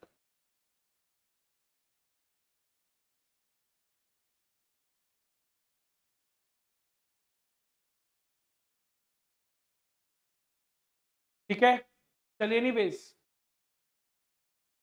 तो कोई भी नंबर जिसको आप एक्सप्रेस कर सकते पी बाई क्यू के फॉर्म पे P and Q integers and Q not equal to zero देखो इरेशनल नंबर का तो सिंपल डेफिनेशन है। दोज रियल नंबर्स मतलब सिंपली अगर हम बोले ना तो हम बोल सकते हैं इरेशनल नंबर का मतलब होता है R minus Q R minus Q मतलब उन सारे रियल नंबर्स में से मतलब those numbers which are not rational are what irrational those real numbers which are not rational are irrational मतलब जो भी नंबर अगर डेफिनेशन बोले, जिसको पी बाई क्यू के फॉर्म पे नहीं लिख सकते, उल्टा डेफिनेशन हो जाएगा ना। जिसको पी बाई क्यू के फॉर्म पे नहीं लिख सकते दैट इज़ व्हाट इरेशनल जैसे रूट थ्री बाई वन जो था, उसको हम नहीं लिख पाए पी बाई क्यू के फॉर्म पे। क्योंकि वहाँ P and Q are not integer P is not an integer root three by one क्या बन गया? इरेशनल समझ में आ रहा है? यस और नो अच्छा एक चीज़ बताओ। 0.72 इज़ इट रैशनल और इरेशनल 0.72 रैशनल और इरेशनल 0.72 रैशनल और इरेशनल सुजल बोल रहे हैं इरेशनल माही बोल रही है रैशनल श्रुति बोल रही है रैशनल क्रिश बोल रहे हैं रैशनल आकाश बोली रैशनल बात करेंगे श्रेय थोड़ी बाद सृष्टि बोल रही है रैशनल क्रिश बोल रहे हैं रैशनल बहुत जन रैशनल बोल रहे एक दो जन इरेशनल बोले बचपन में याद करो, क्या तुम डेसिमल को फ्रैक्शन में कन्वर्ट करने सीखा है कि नहीं सीखा है?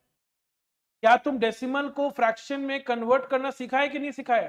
सीखे ना बचपन में? कैसे सीखे थे? डेसिमल को अगर हटा देंगे सर तो नीचे में वन आएगा। और डेसिमल के बाद जितने डिजिट से उतने ज़ीरो और फिर जो नंबर है, उसको ऊपर लिख दो। डेसिमल हटा दिए ज़ीरो सेवन टू का मतलब क्या हो गया? सेवेंटी टू ही हो गया। तो ये क्या बन गया? सेवेंटी टू बाई हंड्रेड तो ये पी बाई क्यू के फॉर्म में हुआ। और सेवेंटी टू और हंड्रेड दोनों क्या इंटीजर्स है? And Q not equal to zero है। तो ऑब्वियसली क्या होगा? रैशनल होगा। एक और एग्जांपल लें। Zero point five six seven five ये क्या होगा? रैशनल की irrational zero point five six seven five rational या फिर इरेशनल रैशनल या फिर इरेशनल बोलो। रैशनल या फिर इरेशनल ऑब्वियसली रैशनल क्योंकि सर डेसिमल हटाएँगे तो नीचे क्या आएगा? वन डेसिमल के बाद चार डिजिटल चार ज़ीरो दे देंगे और फिर ऊपर में ऊपर लिख देंगे five six seven five zero starting का कोई रिलेवेंस नहीं है। तो हो गया ना दो integers and Q not equal to zero मतलब ये भी क्या हो गया? रैशनल ठीक है?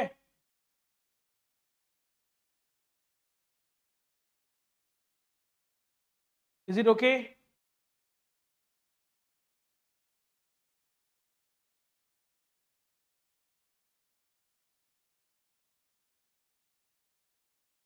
अच्छा एक और एग्जांपल है zero point five three one seven two eight five one three nine dot dot dot dot ऐसा है। ये क्या होगा रैशनल या फिर इरेशनल रैशनल या फिर इरेशनल इज़ इट रैशनल और इरेशनल रैशनल और irrational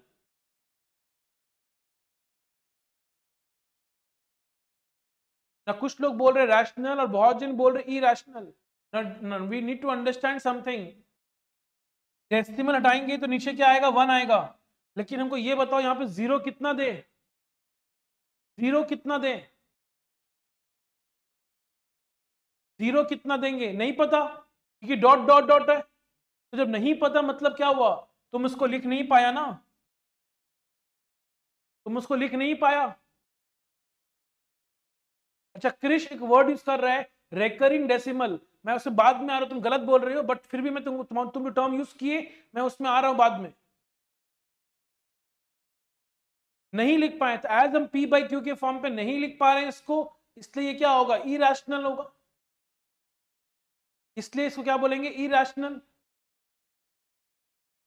now can you tell me इन दोनों में और इसमें क्या डिफरेंस था? इन दोनों में पहला तो एग्ज़ाम्पल और इसमें क्या डिफरेंस था? पहला दोनों में और थर्ड वाले में क्या डिफरेंस था? तो डिफरेंस ये था कि पहले दोनों में एंड है एंड हमको पता है कि चार डिजिट है, कि दो डिजिट है। बट थर्ड वाले केस में हमको पता ही नहीं है कि डेसिमल के बाद कितना डिजिट है। जिस डेसिमल में तुमको पता होता ना कि कितना डिजिट्स है मतलब एंड तुमको पता होता है, उसको बोलते हैं टर्मिनेटिंग डेसिमल क्या बोलते हैं उसको? टर्मिनेटिंग डेसिमल टर्मिनेटिंग टर्मिनेट बोलते ना स्कूल से टर्मिनेट मतलब क्या हुआ? आज तुम्हारा एंड हो गया स्कूल से। तो एंड जब किस डेसिमल का एंड होता है, तब उसको क्या बोलते हैं? टर्मिनेटिंग डेसिमल और जिसका एंड नहीं होगा, उसको क्या बोलते हैं? Non terminating decimal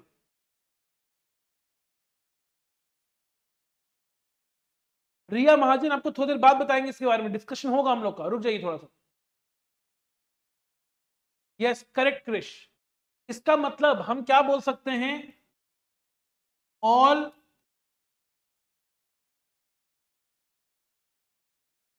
terminating all terminating decimal are rational number all terminating decimal are rational number समझ में आया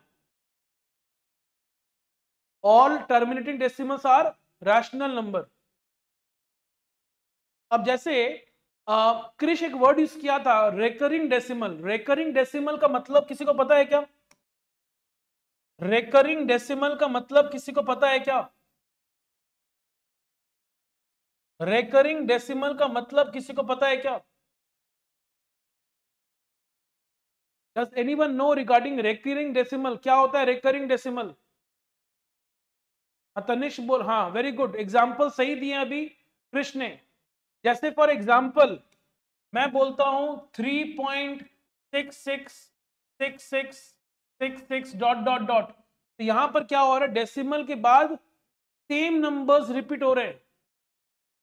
या फिर हम बोलते हैं five point two three two three two three two three dot dot dot यहाँ पर क्या हो रहा है? सेम नंबर्स रिपीट कर रहे हैं। देख रहे टू थ्री रिपीट कर रहे हैं ना बार बार। Two three two three two three अगर हम बोलते हैं zero point three five one three five one three five one dot dot तो यहाँ थ्री फाइव वन क्या हो रहा है रिपीट कर रहा है अगर हम बोलते हैं zero point three two three two three two three dot dot मतलब यहाँ पर क्या हो रहा है टू थ्री खाली रिपीट कर रहा है two three two three two three चल रहा है या three two three two three two बोल सकते हैं three two three two three two ऐसे चल रहा है पैटर्न समझ आया या चलो नंबर थोड़ा चेंज करते हैं यहाँ पर ताकि तुमको बाद में थोड़ा समझा पाएँगे हम। Zero point three two four two four two four two four dot dot मतलब यहाँ टू फोर रिपीट कर रहा है। इसको क्या बोलते हैं? रेकरिंग डेसिमल क्या आपको समझ में आ रहा है? मेरे को जानना है, ये सारे कौन से नंबर्स है? रैशनल या फिर इरेशनल ये सारे कौन से नंबर्स है? रैशनल या फिर इरेशनल सुजल बोल रहे इरेशनल नैन्सी बोल रहे irrational Himanshi irrational Mahi irrational irrational irrational irrational सभी कोई इरेशनल बोल रहे हैं। एंड मैं बता दूँ, सभी का आंसर गलत है। It is a rational number it is a rational number it is not a irrational number sir क्या बात कर रहे हैं? अभी तो आप बोले थे। टर्मिनेटिंग और नॉन टर्मिनेटिंग वाला बात। फिर आप चेंज कर रहे हैं अपने आप को। जैसे फॉर एग्ज़ाम्पल एक चीज़ दिखा रहे हैं आपको। अच्छा एक काम करो ना। इलेवन बाई थ्री का आंसर निकालो तो चेक करो यही आ रहा है कि नहीं। इलेवन बाई थ्री का आंसर चेक करो, यही आ रहा है कि नहीं आ रहा है। इलेवन बाई थ्री का आंसर यही आ रहा है कि नहीं आ रहा है, चेक करो। इलेवन बाई थ्री का आंसर यही आ रहा है कि नहीं आ रहा है, चेक करो प्लीज़। फटाफट चेक करेंगे। आ रहा है क्या? अच्छा एक और चीज़ चेक करो। Three fifty one by triple nine three fifty one by triple nine यही आ रहा है कि नहीं आ रहा? चेक करो. Three fifty one by triple nine यही आ रहा है कि नहीं आ रहा? चेक करो. आ रहा है। इसका मतलब क्या हुआ? इसका मतलब क्या समझ में आया कि कोई भी रेकरिंग डेसिमल को हम पी बाई क्यू के फॉर्म पे लिख सकते हैं। मतलब क्या हुआ? All terminating decimals are rational number and all recurring decimals are rational number.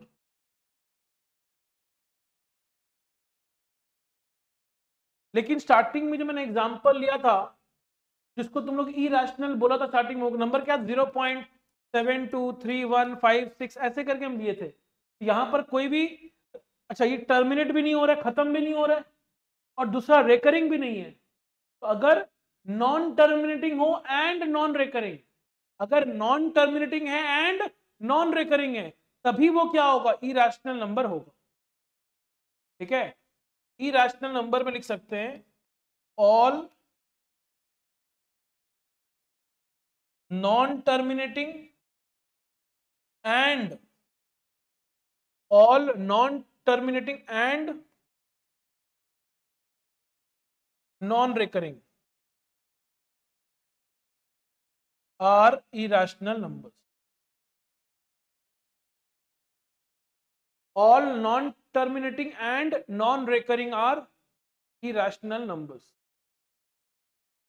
समझ में आया non terminating and non recurring are irrational numbers क्या सभी को यहाँ तक क्लियर है?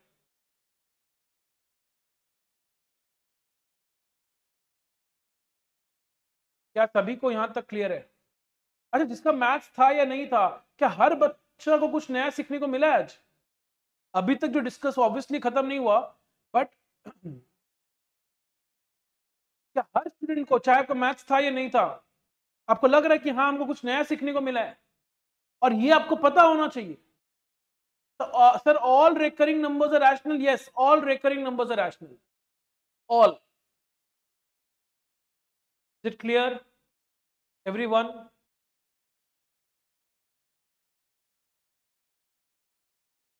अब। अब तुमको यहाँ पे जो समझना है, ध्यान देना। भूल सा गए थे। हाँ तो वही तो याद दिलाना है। वही तो याद दिलाने काम कर रहे हैं। अच्छा एक और चीज़ सुनो। जैसे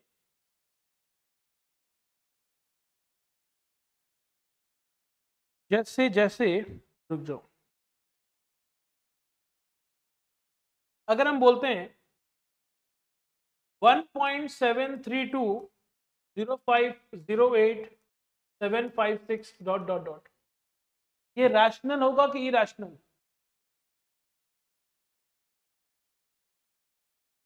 ये रैशनल होगा कि इरेशनल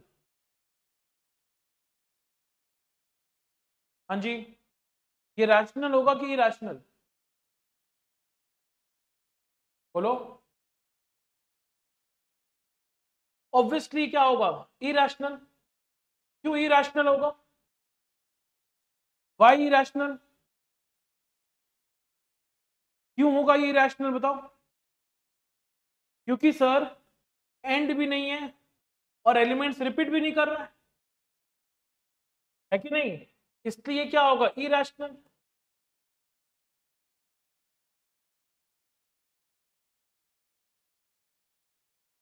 अच्छा अब एक चीज़ सुनना।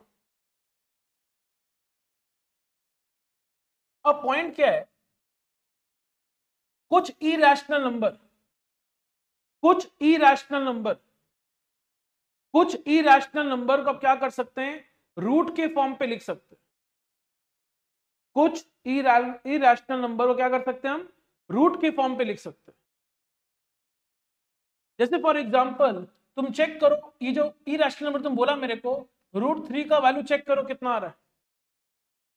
रूट थ्री का वैल्यू चेक करो, क्या यही आ रहा है?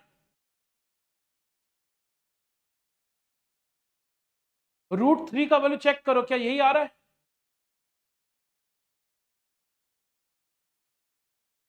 यस और नो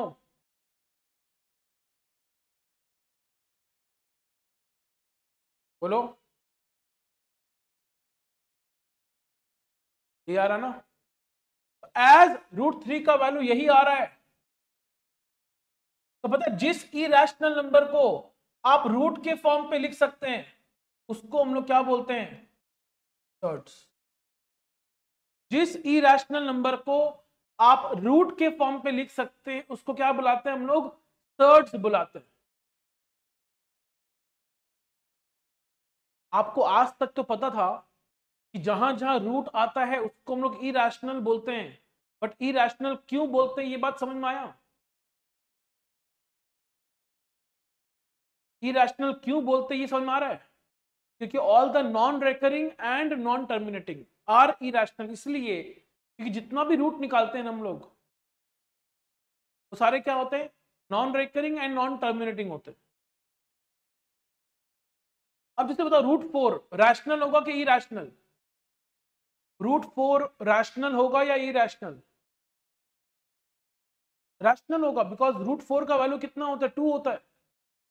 रूट फोर का वैल्यू कितना है? टू है ना? रूट फोर का वैल्यू कितना है? टू है। एज रूट फोर का वैल्यू टू है। And two is a integer वो तो रैशनल नंबर हो गया। तो ये भी रटना नहीं आपको कि जहाँ रूट रहेगा मतलब वो इरेशनल है। जिस इरेशनल नंबर को हम रूट के फॉर्म पे लिख सकते हैं, उसको हम लोग क्या बोलते हैं? सर्च बोलते हैं। ये बात को ध्यान रखना। इज़ इट क्लियर पक्का एवरीवन हंड्रेड परसेंट चले आगे।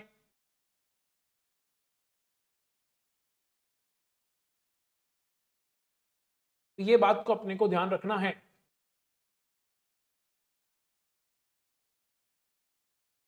Clear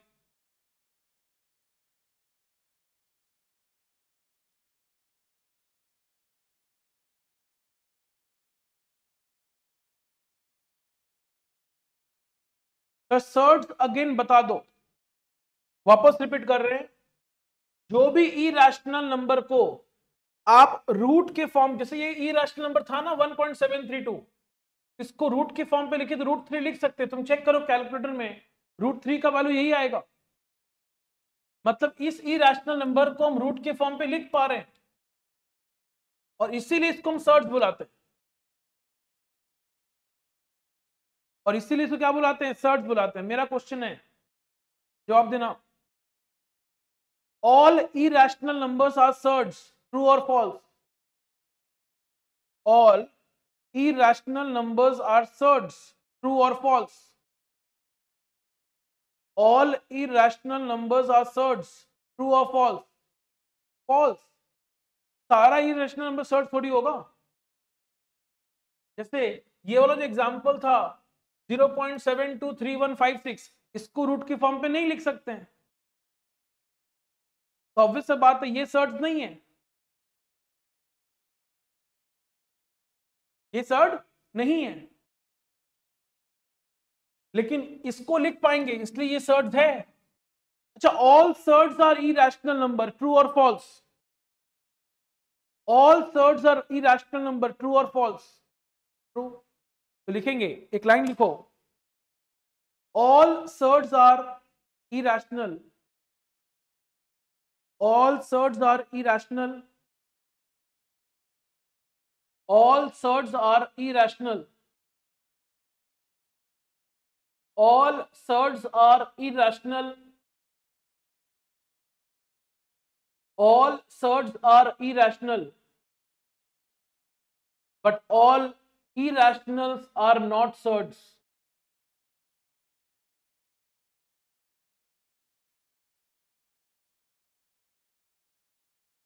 All surds are irrational but all irrationals are not surds.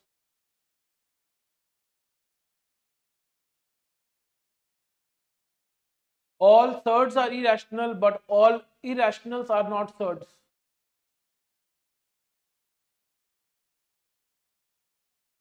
Done.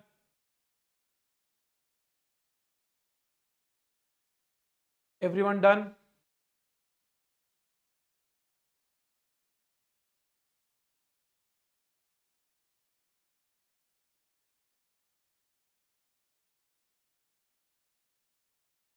अब देखो रैशनल नंबर का अगर हम बात करें दो कैटेगरी ऑफ़ नंबर्स है जो रैशनल नंबर हो सकता है। एक तो इंटीजर्स बताओ, जितने भी इंटीजर्स है, वो सारे रैशनल नंबर्स है या नहीं है? ऑल सर्ट्स और इरेशनल स्टेटमेंट समझ नहीं आया। अरे जितने भी सर्ट्स है सर्ट्स का मतलब क्या था? वो इरेशनल नंबर जिसको रूट के फॉर्म पे लिख सकते उसी को सर्ट्स बोल रहे हैं। तो जितने भी सर्ट्स है, वो इरेशनल तो होगा ही ना। बोलो हाँ कि नहीं? कृतार्थ निकिरत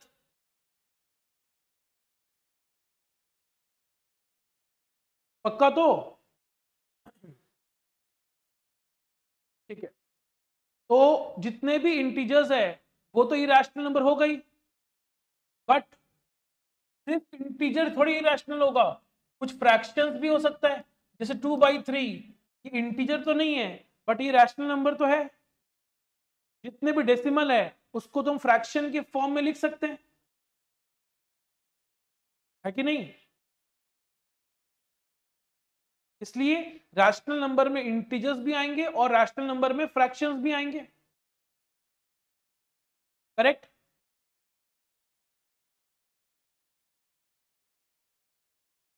अच्छा पता है इंटीजर्स को हम लोग डिनोट किससे करते हैं? जेड से।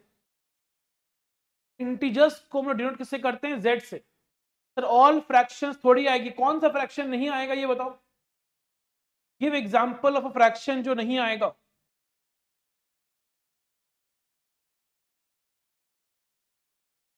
गिव एग्जांपल ऑफ़ फ्रैक्शन जो नहीं आएगा।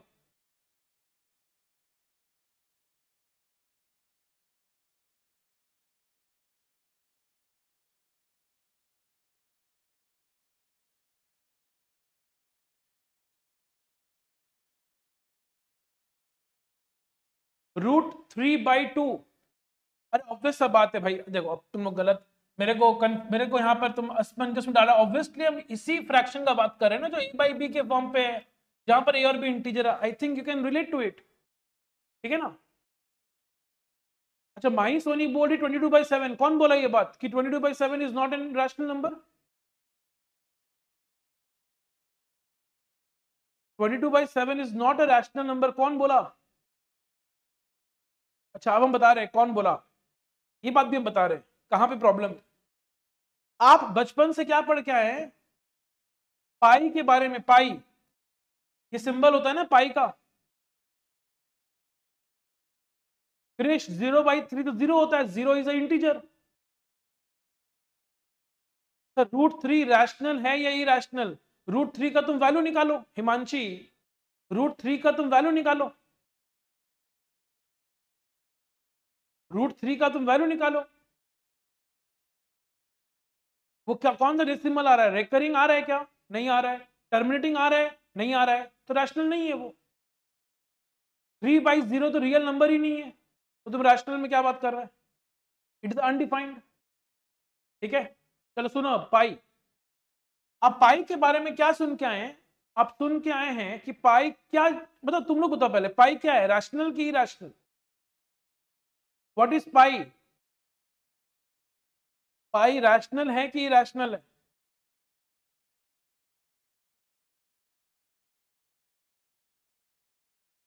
पाई इज़ रैशनल और इरेशनल ओके okay, तो सभी कोई बोल रहे हैं यहाँ पर रैशनल रैशनल रैशनल फागवी बोल रही है irrational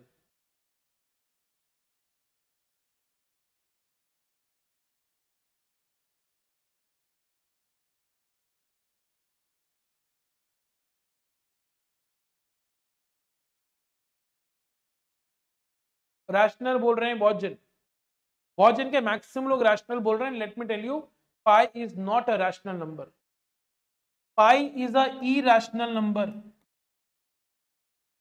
pi is a irrational number why it is irrational number let me tell you क्योंकि पाई आप क्या पढ़ गए पता है? कि पाई का वैल्यू होता है twenty two by seven but pi का actual value twenty two by seven नहीं है। पाई का एक्चुअल वैल्यू कुछ और है। सिंप्लिसिटी के लिए हम लोग 22 टू बाई सेवन यूज़ करते हैं। तुम गूगल कर लो, तुमको वैल्यू मिलेगा पाई का 3.14159 ऐसा करके कुछ वैल्यू मिलेगा। चेक करो गूगल में भी कर लो आज, अभी कर लो गूगल में। इसका जो वैल्यू आएगा ना 3.14159 समथिंग करके, बहुत बड़ा सा डिजिट मिलेगा। तुम लिखो real value of pi Google it. तो तुमको 3.14159 समथिंग मिलेगा। देखो मिल रहा है कि नहीं? ऐसा ही कुछ है ना? लेकिन 22 टू बाई सेवन का वैल्यू तो 3.142857 है। तो ये मैच कहाँ कर रहा है? तो ये पाई का रियल वैल्यू है ही नहीं। ठीक है?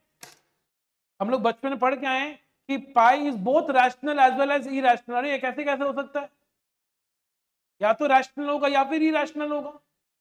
इट्स इरेशनल क्योंकि non terminating and non recurring है, इसलिए इट्स अ इरेशनल नंबर चलो, ये भी एक नया चीज़ सीखने को मिला आज हम लोग को। है कि नहीं?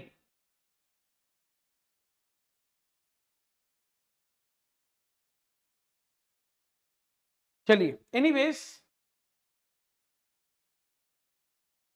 हम लोग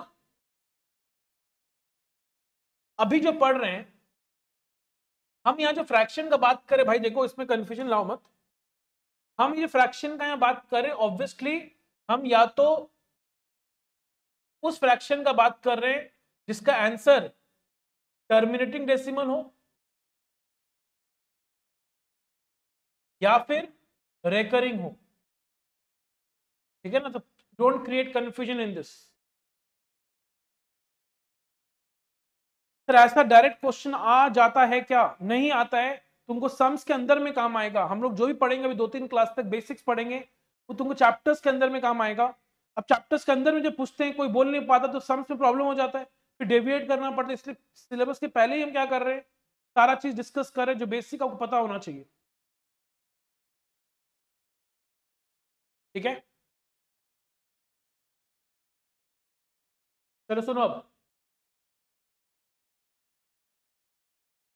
एक इंटीजर्स हो गया और एक फ्रैक्शन हो गया। अगर हम बात करें इंटीजर्स का, देखो इंटीजर्स तीन तरह के होते हैं। इंटीजर्स कितने तरह के होते तीन तरह के होते one is called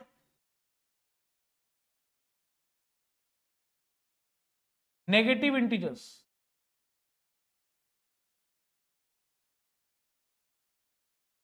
one is called zero and the other is positive integers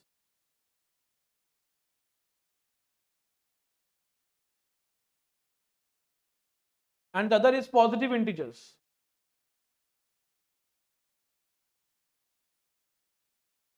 ठीक है अच्छा नेगेटिव इंटीजर्स को डिनोट किससे करते हैं z माइनस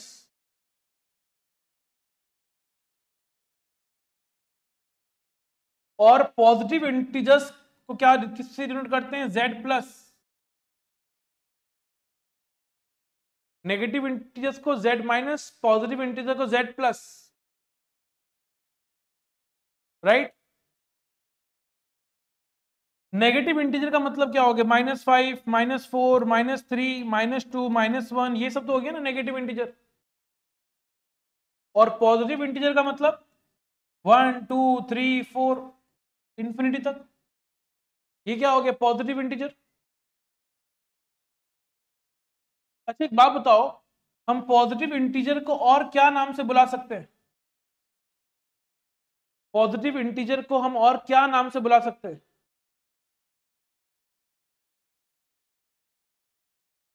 और क्या नाम से बुला सकते हैं?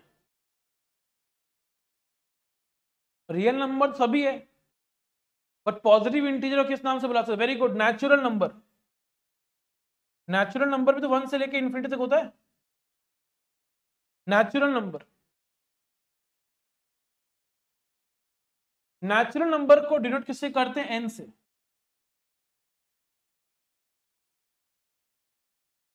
अच्छा एक और चीज़ बताएगा। ज़ीरो प्लस नेचुरल नंबर मिलके क्या बनता है? ज़ीरो प्लस नेचुरल नंबर मिलके क्या बनता है?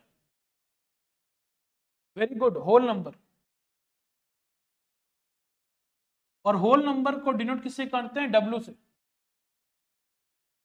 होल नंबर को डिनोट किससे करते हैं? डब्ल्यू से। क्या यहाँ तक बात सभी को क्लियर है?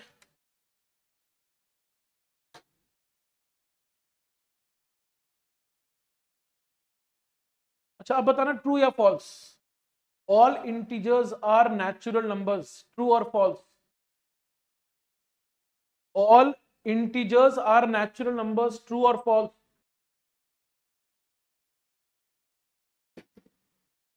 हाँ जी। ट्रू या फॉल्स क्या है आंसर फॉल्स ना? क्यों false why false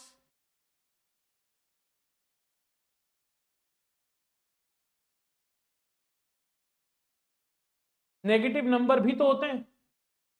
तो सारे natural numbers all all integers are not natural क्योंकि नेचुरल में तो खाली पॉजिटिव इंटीजर आ गए। बट इंटीजर्स में तो नेगेटिव भी तो आते हैं। अच्छा क्या ये हम बोल सकते हैं कि all all natural numbers are integers all natural numbers are integers हाँ ये बोल सकते हैं। बहुत काम आएगा ये सब बात, लिखो कॉपी में लिखेंगे।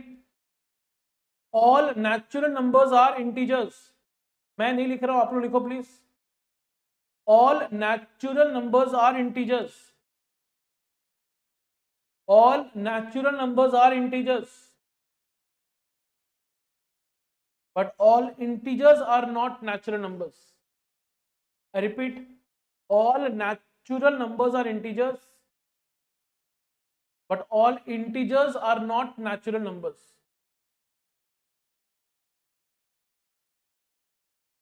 but all integers are not natural numbers.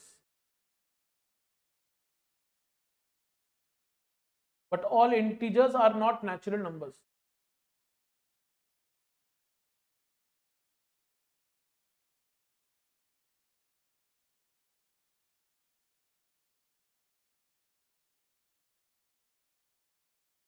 But all integers are not natural numbers. Okay?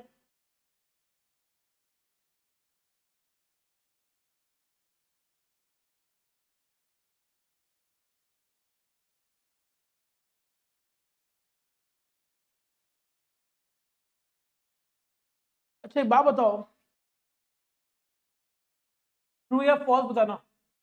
All integers are rational numbers all integers are rational numbers all integers are rational numbers true और false obviously true सारे integers rational number तो लिखेंगे all integers are rational numbers all integers are rational numbers. All integers are rational numbers. All integers are rational numbers. But all rational numbers are not integers. All integers are rational numbers. But all rational numbers are not integers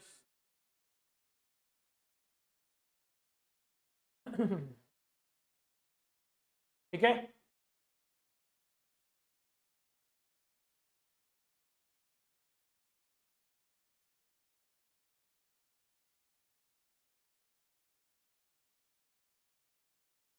अच्छा एक और बताओ।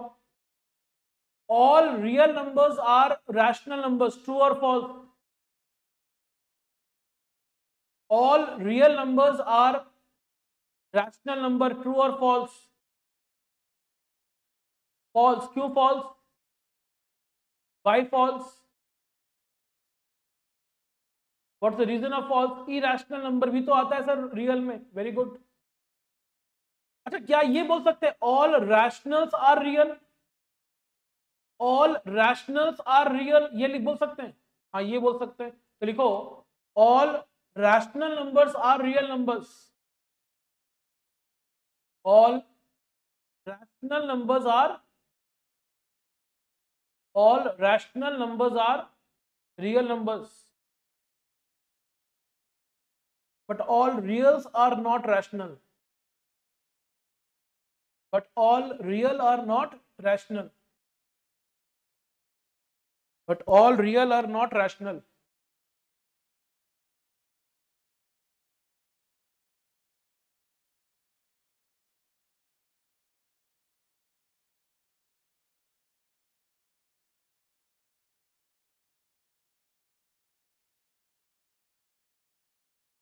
अब अब मैं बात कर रहा हूँ थोड़ा फ्रैक्शन के बारे में। कोई बताएगा फ्रैक्शन कितने तरह के होते हैं?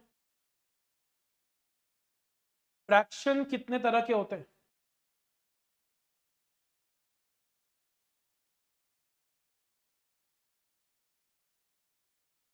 आंचल बोल रही है three name them please Himanshi बोल रही है टू नेम देम जो भी बोल रहे, जितना बोल रहे हैं, आप नाम बताइए।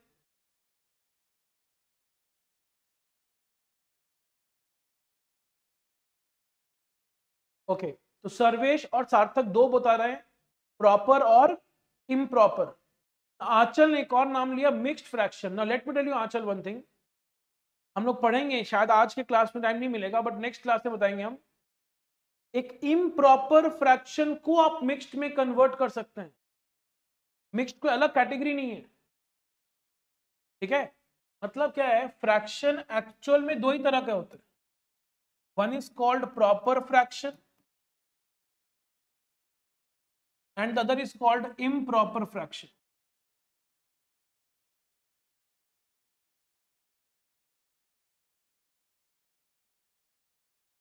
अच्छा को बताएगा प्रॉपर फ्रैक्शन किसको बोलते हैं? प्रॉपर फ्रैक्शन किसको बोलते हैं? किसी को पता हो तो। ओके सृष्टि एग्ज़ाम्पल ये डायरेक्टली मतलब क्या हुआ? अगर कोई फ्रैक्शन ए बाई बी के फॉर्म पे है तो यहाँ पर ए को क्या बुलाते हैं? न्यूमिनेटर और बी को क्या बुलाते हैं? डिनोमिनेटर है ना? मतलब जब न्यूमिनेटर छोटा हो और डिनोमिनेटर बड़ा हो, तब बोलते हैं प्रॉपर फ्रैक्शन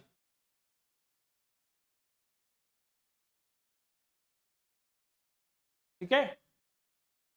और इम्प्रॉपर फ्रैक्शन का मतलब जब न्यूमिनेटर बड़ा हो और डिनोमिनेटर छोटा हो, तब क्या बोलते हैं? इम्प्रॉपर फ्रैक्शन तब क्या बोलते हैं? इम प्रॉपर फ्रैक्शन कोई बच्चा में से पूछता है, सर, फिर पी अगर ए इक्वल टू बी होगा तो कौन सा फ्रैक्शन होगा? बताओ उसका जवाब। अगर ए और बी इक्वल होगा तो कौन सा फ्रैक्शन बोलेंगे? प्रॉपर या फिर इम प्रॉपर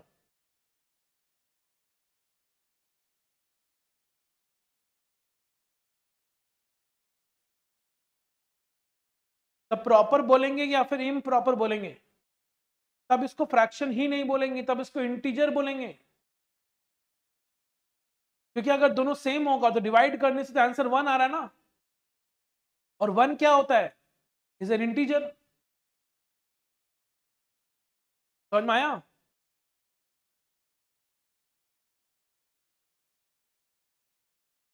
तो प्रॉपर फ्रैक्शन का मतलब जब न्यूमिनेटर छोटा है डिनोमिनेटर बड़ा है, और इम्प्रॉपर का मतलब जब न्यूमिनेटर बड़ा है और डिनोमिनेटर छोटा है, तब बोलते इम प्रॉपर जैसे for example five by eight proper होगा या improper five by eight proper या फिर इम प्रॉपर प्रॉपर या इम प्रॉपर बताओ प्रॉपर होगा ना? अरे न्यूमीटर छोटा है इम प्रॉपर कैसे बोल रहे हो?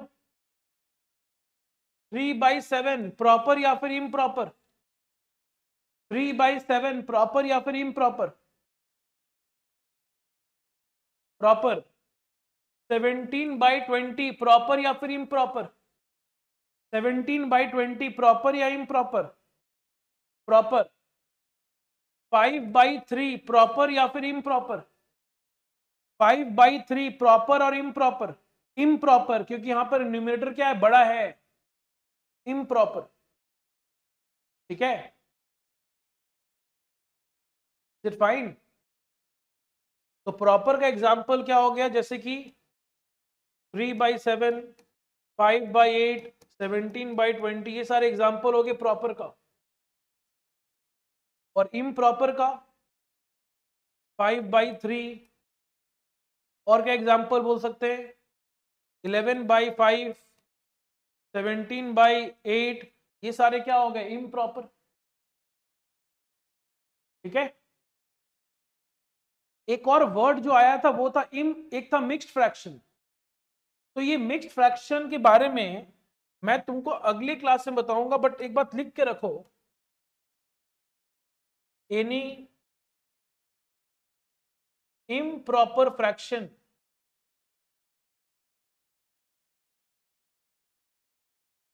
any improper fraction can be any improper fraction can be any improper fraction can be converted into mixed fraction.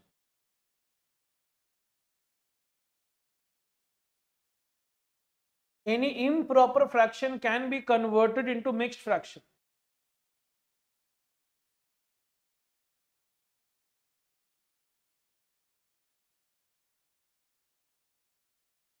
ठीक है? बट ऐसा क्यों? मतलब प्रॉपर फ्रैक्शन को मिक्स्ड फ्रैक्शन में क्यों नहीं लिख सकते हैं? ये बात हम तुमको कब बताएँगे? अगले क्लास में बताएँगे।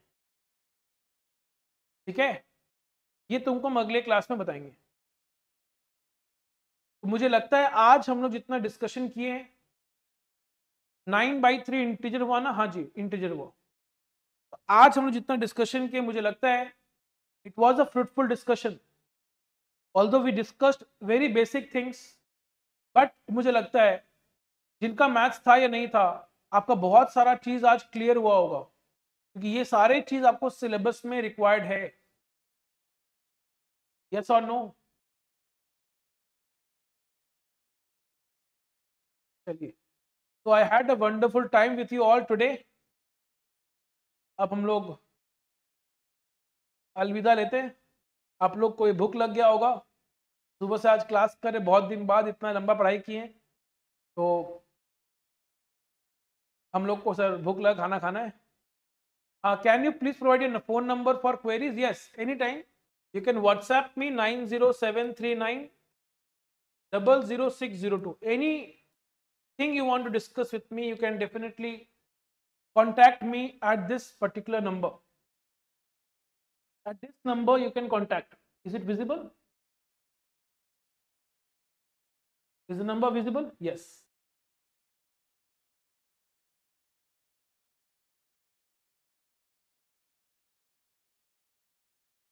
Recorded lectures कहाँ मिलेंगे ऐप में मिलेंगे जैसे ही क्लास कंप्लीट हो जाता है ना दो तीन घंटा समय लगता है तो फिर ऐप में वो क्लास आ जाता है ठीक है बाकी कोई भी इशू है you can directly WhatsApp me ठीक है? एंड आई विल इंश्योर कि आपका जो भी क्वेरीज है, वो रिजॉल्व हो जाए। ठीक है तो? चलिए। दैट्स ऑल थैंक यू मिलते हैं कल same time 12:15 for our further discussion on basics of maths ठीक है? चलिए दैट्स ऑल थैंक यू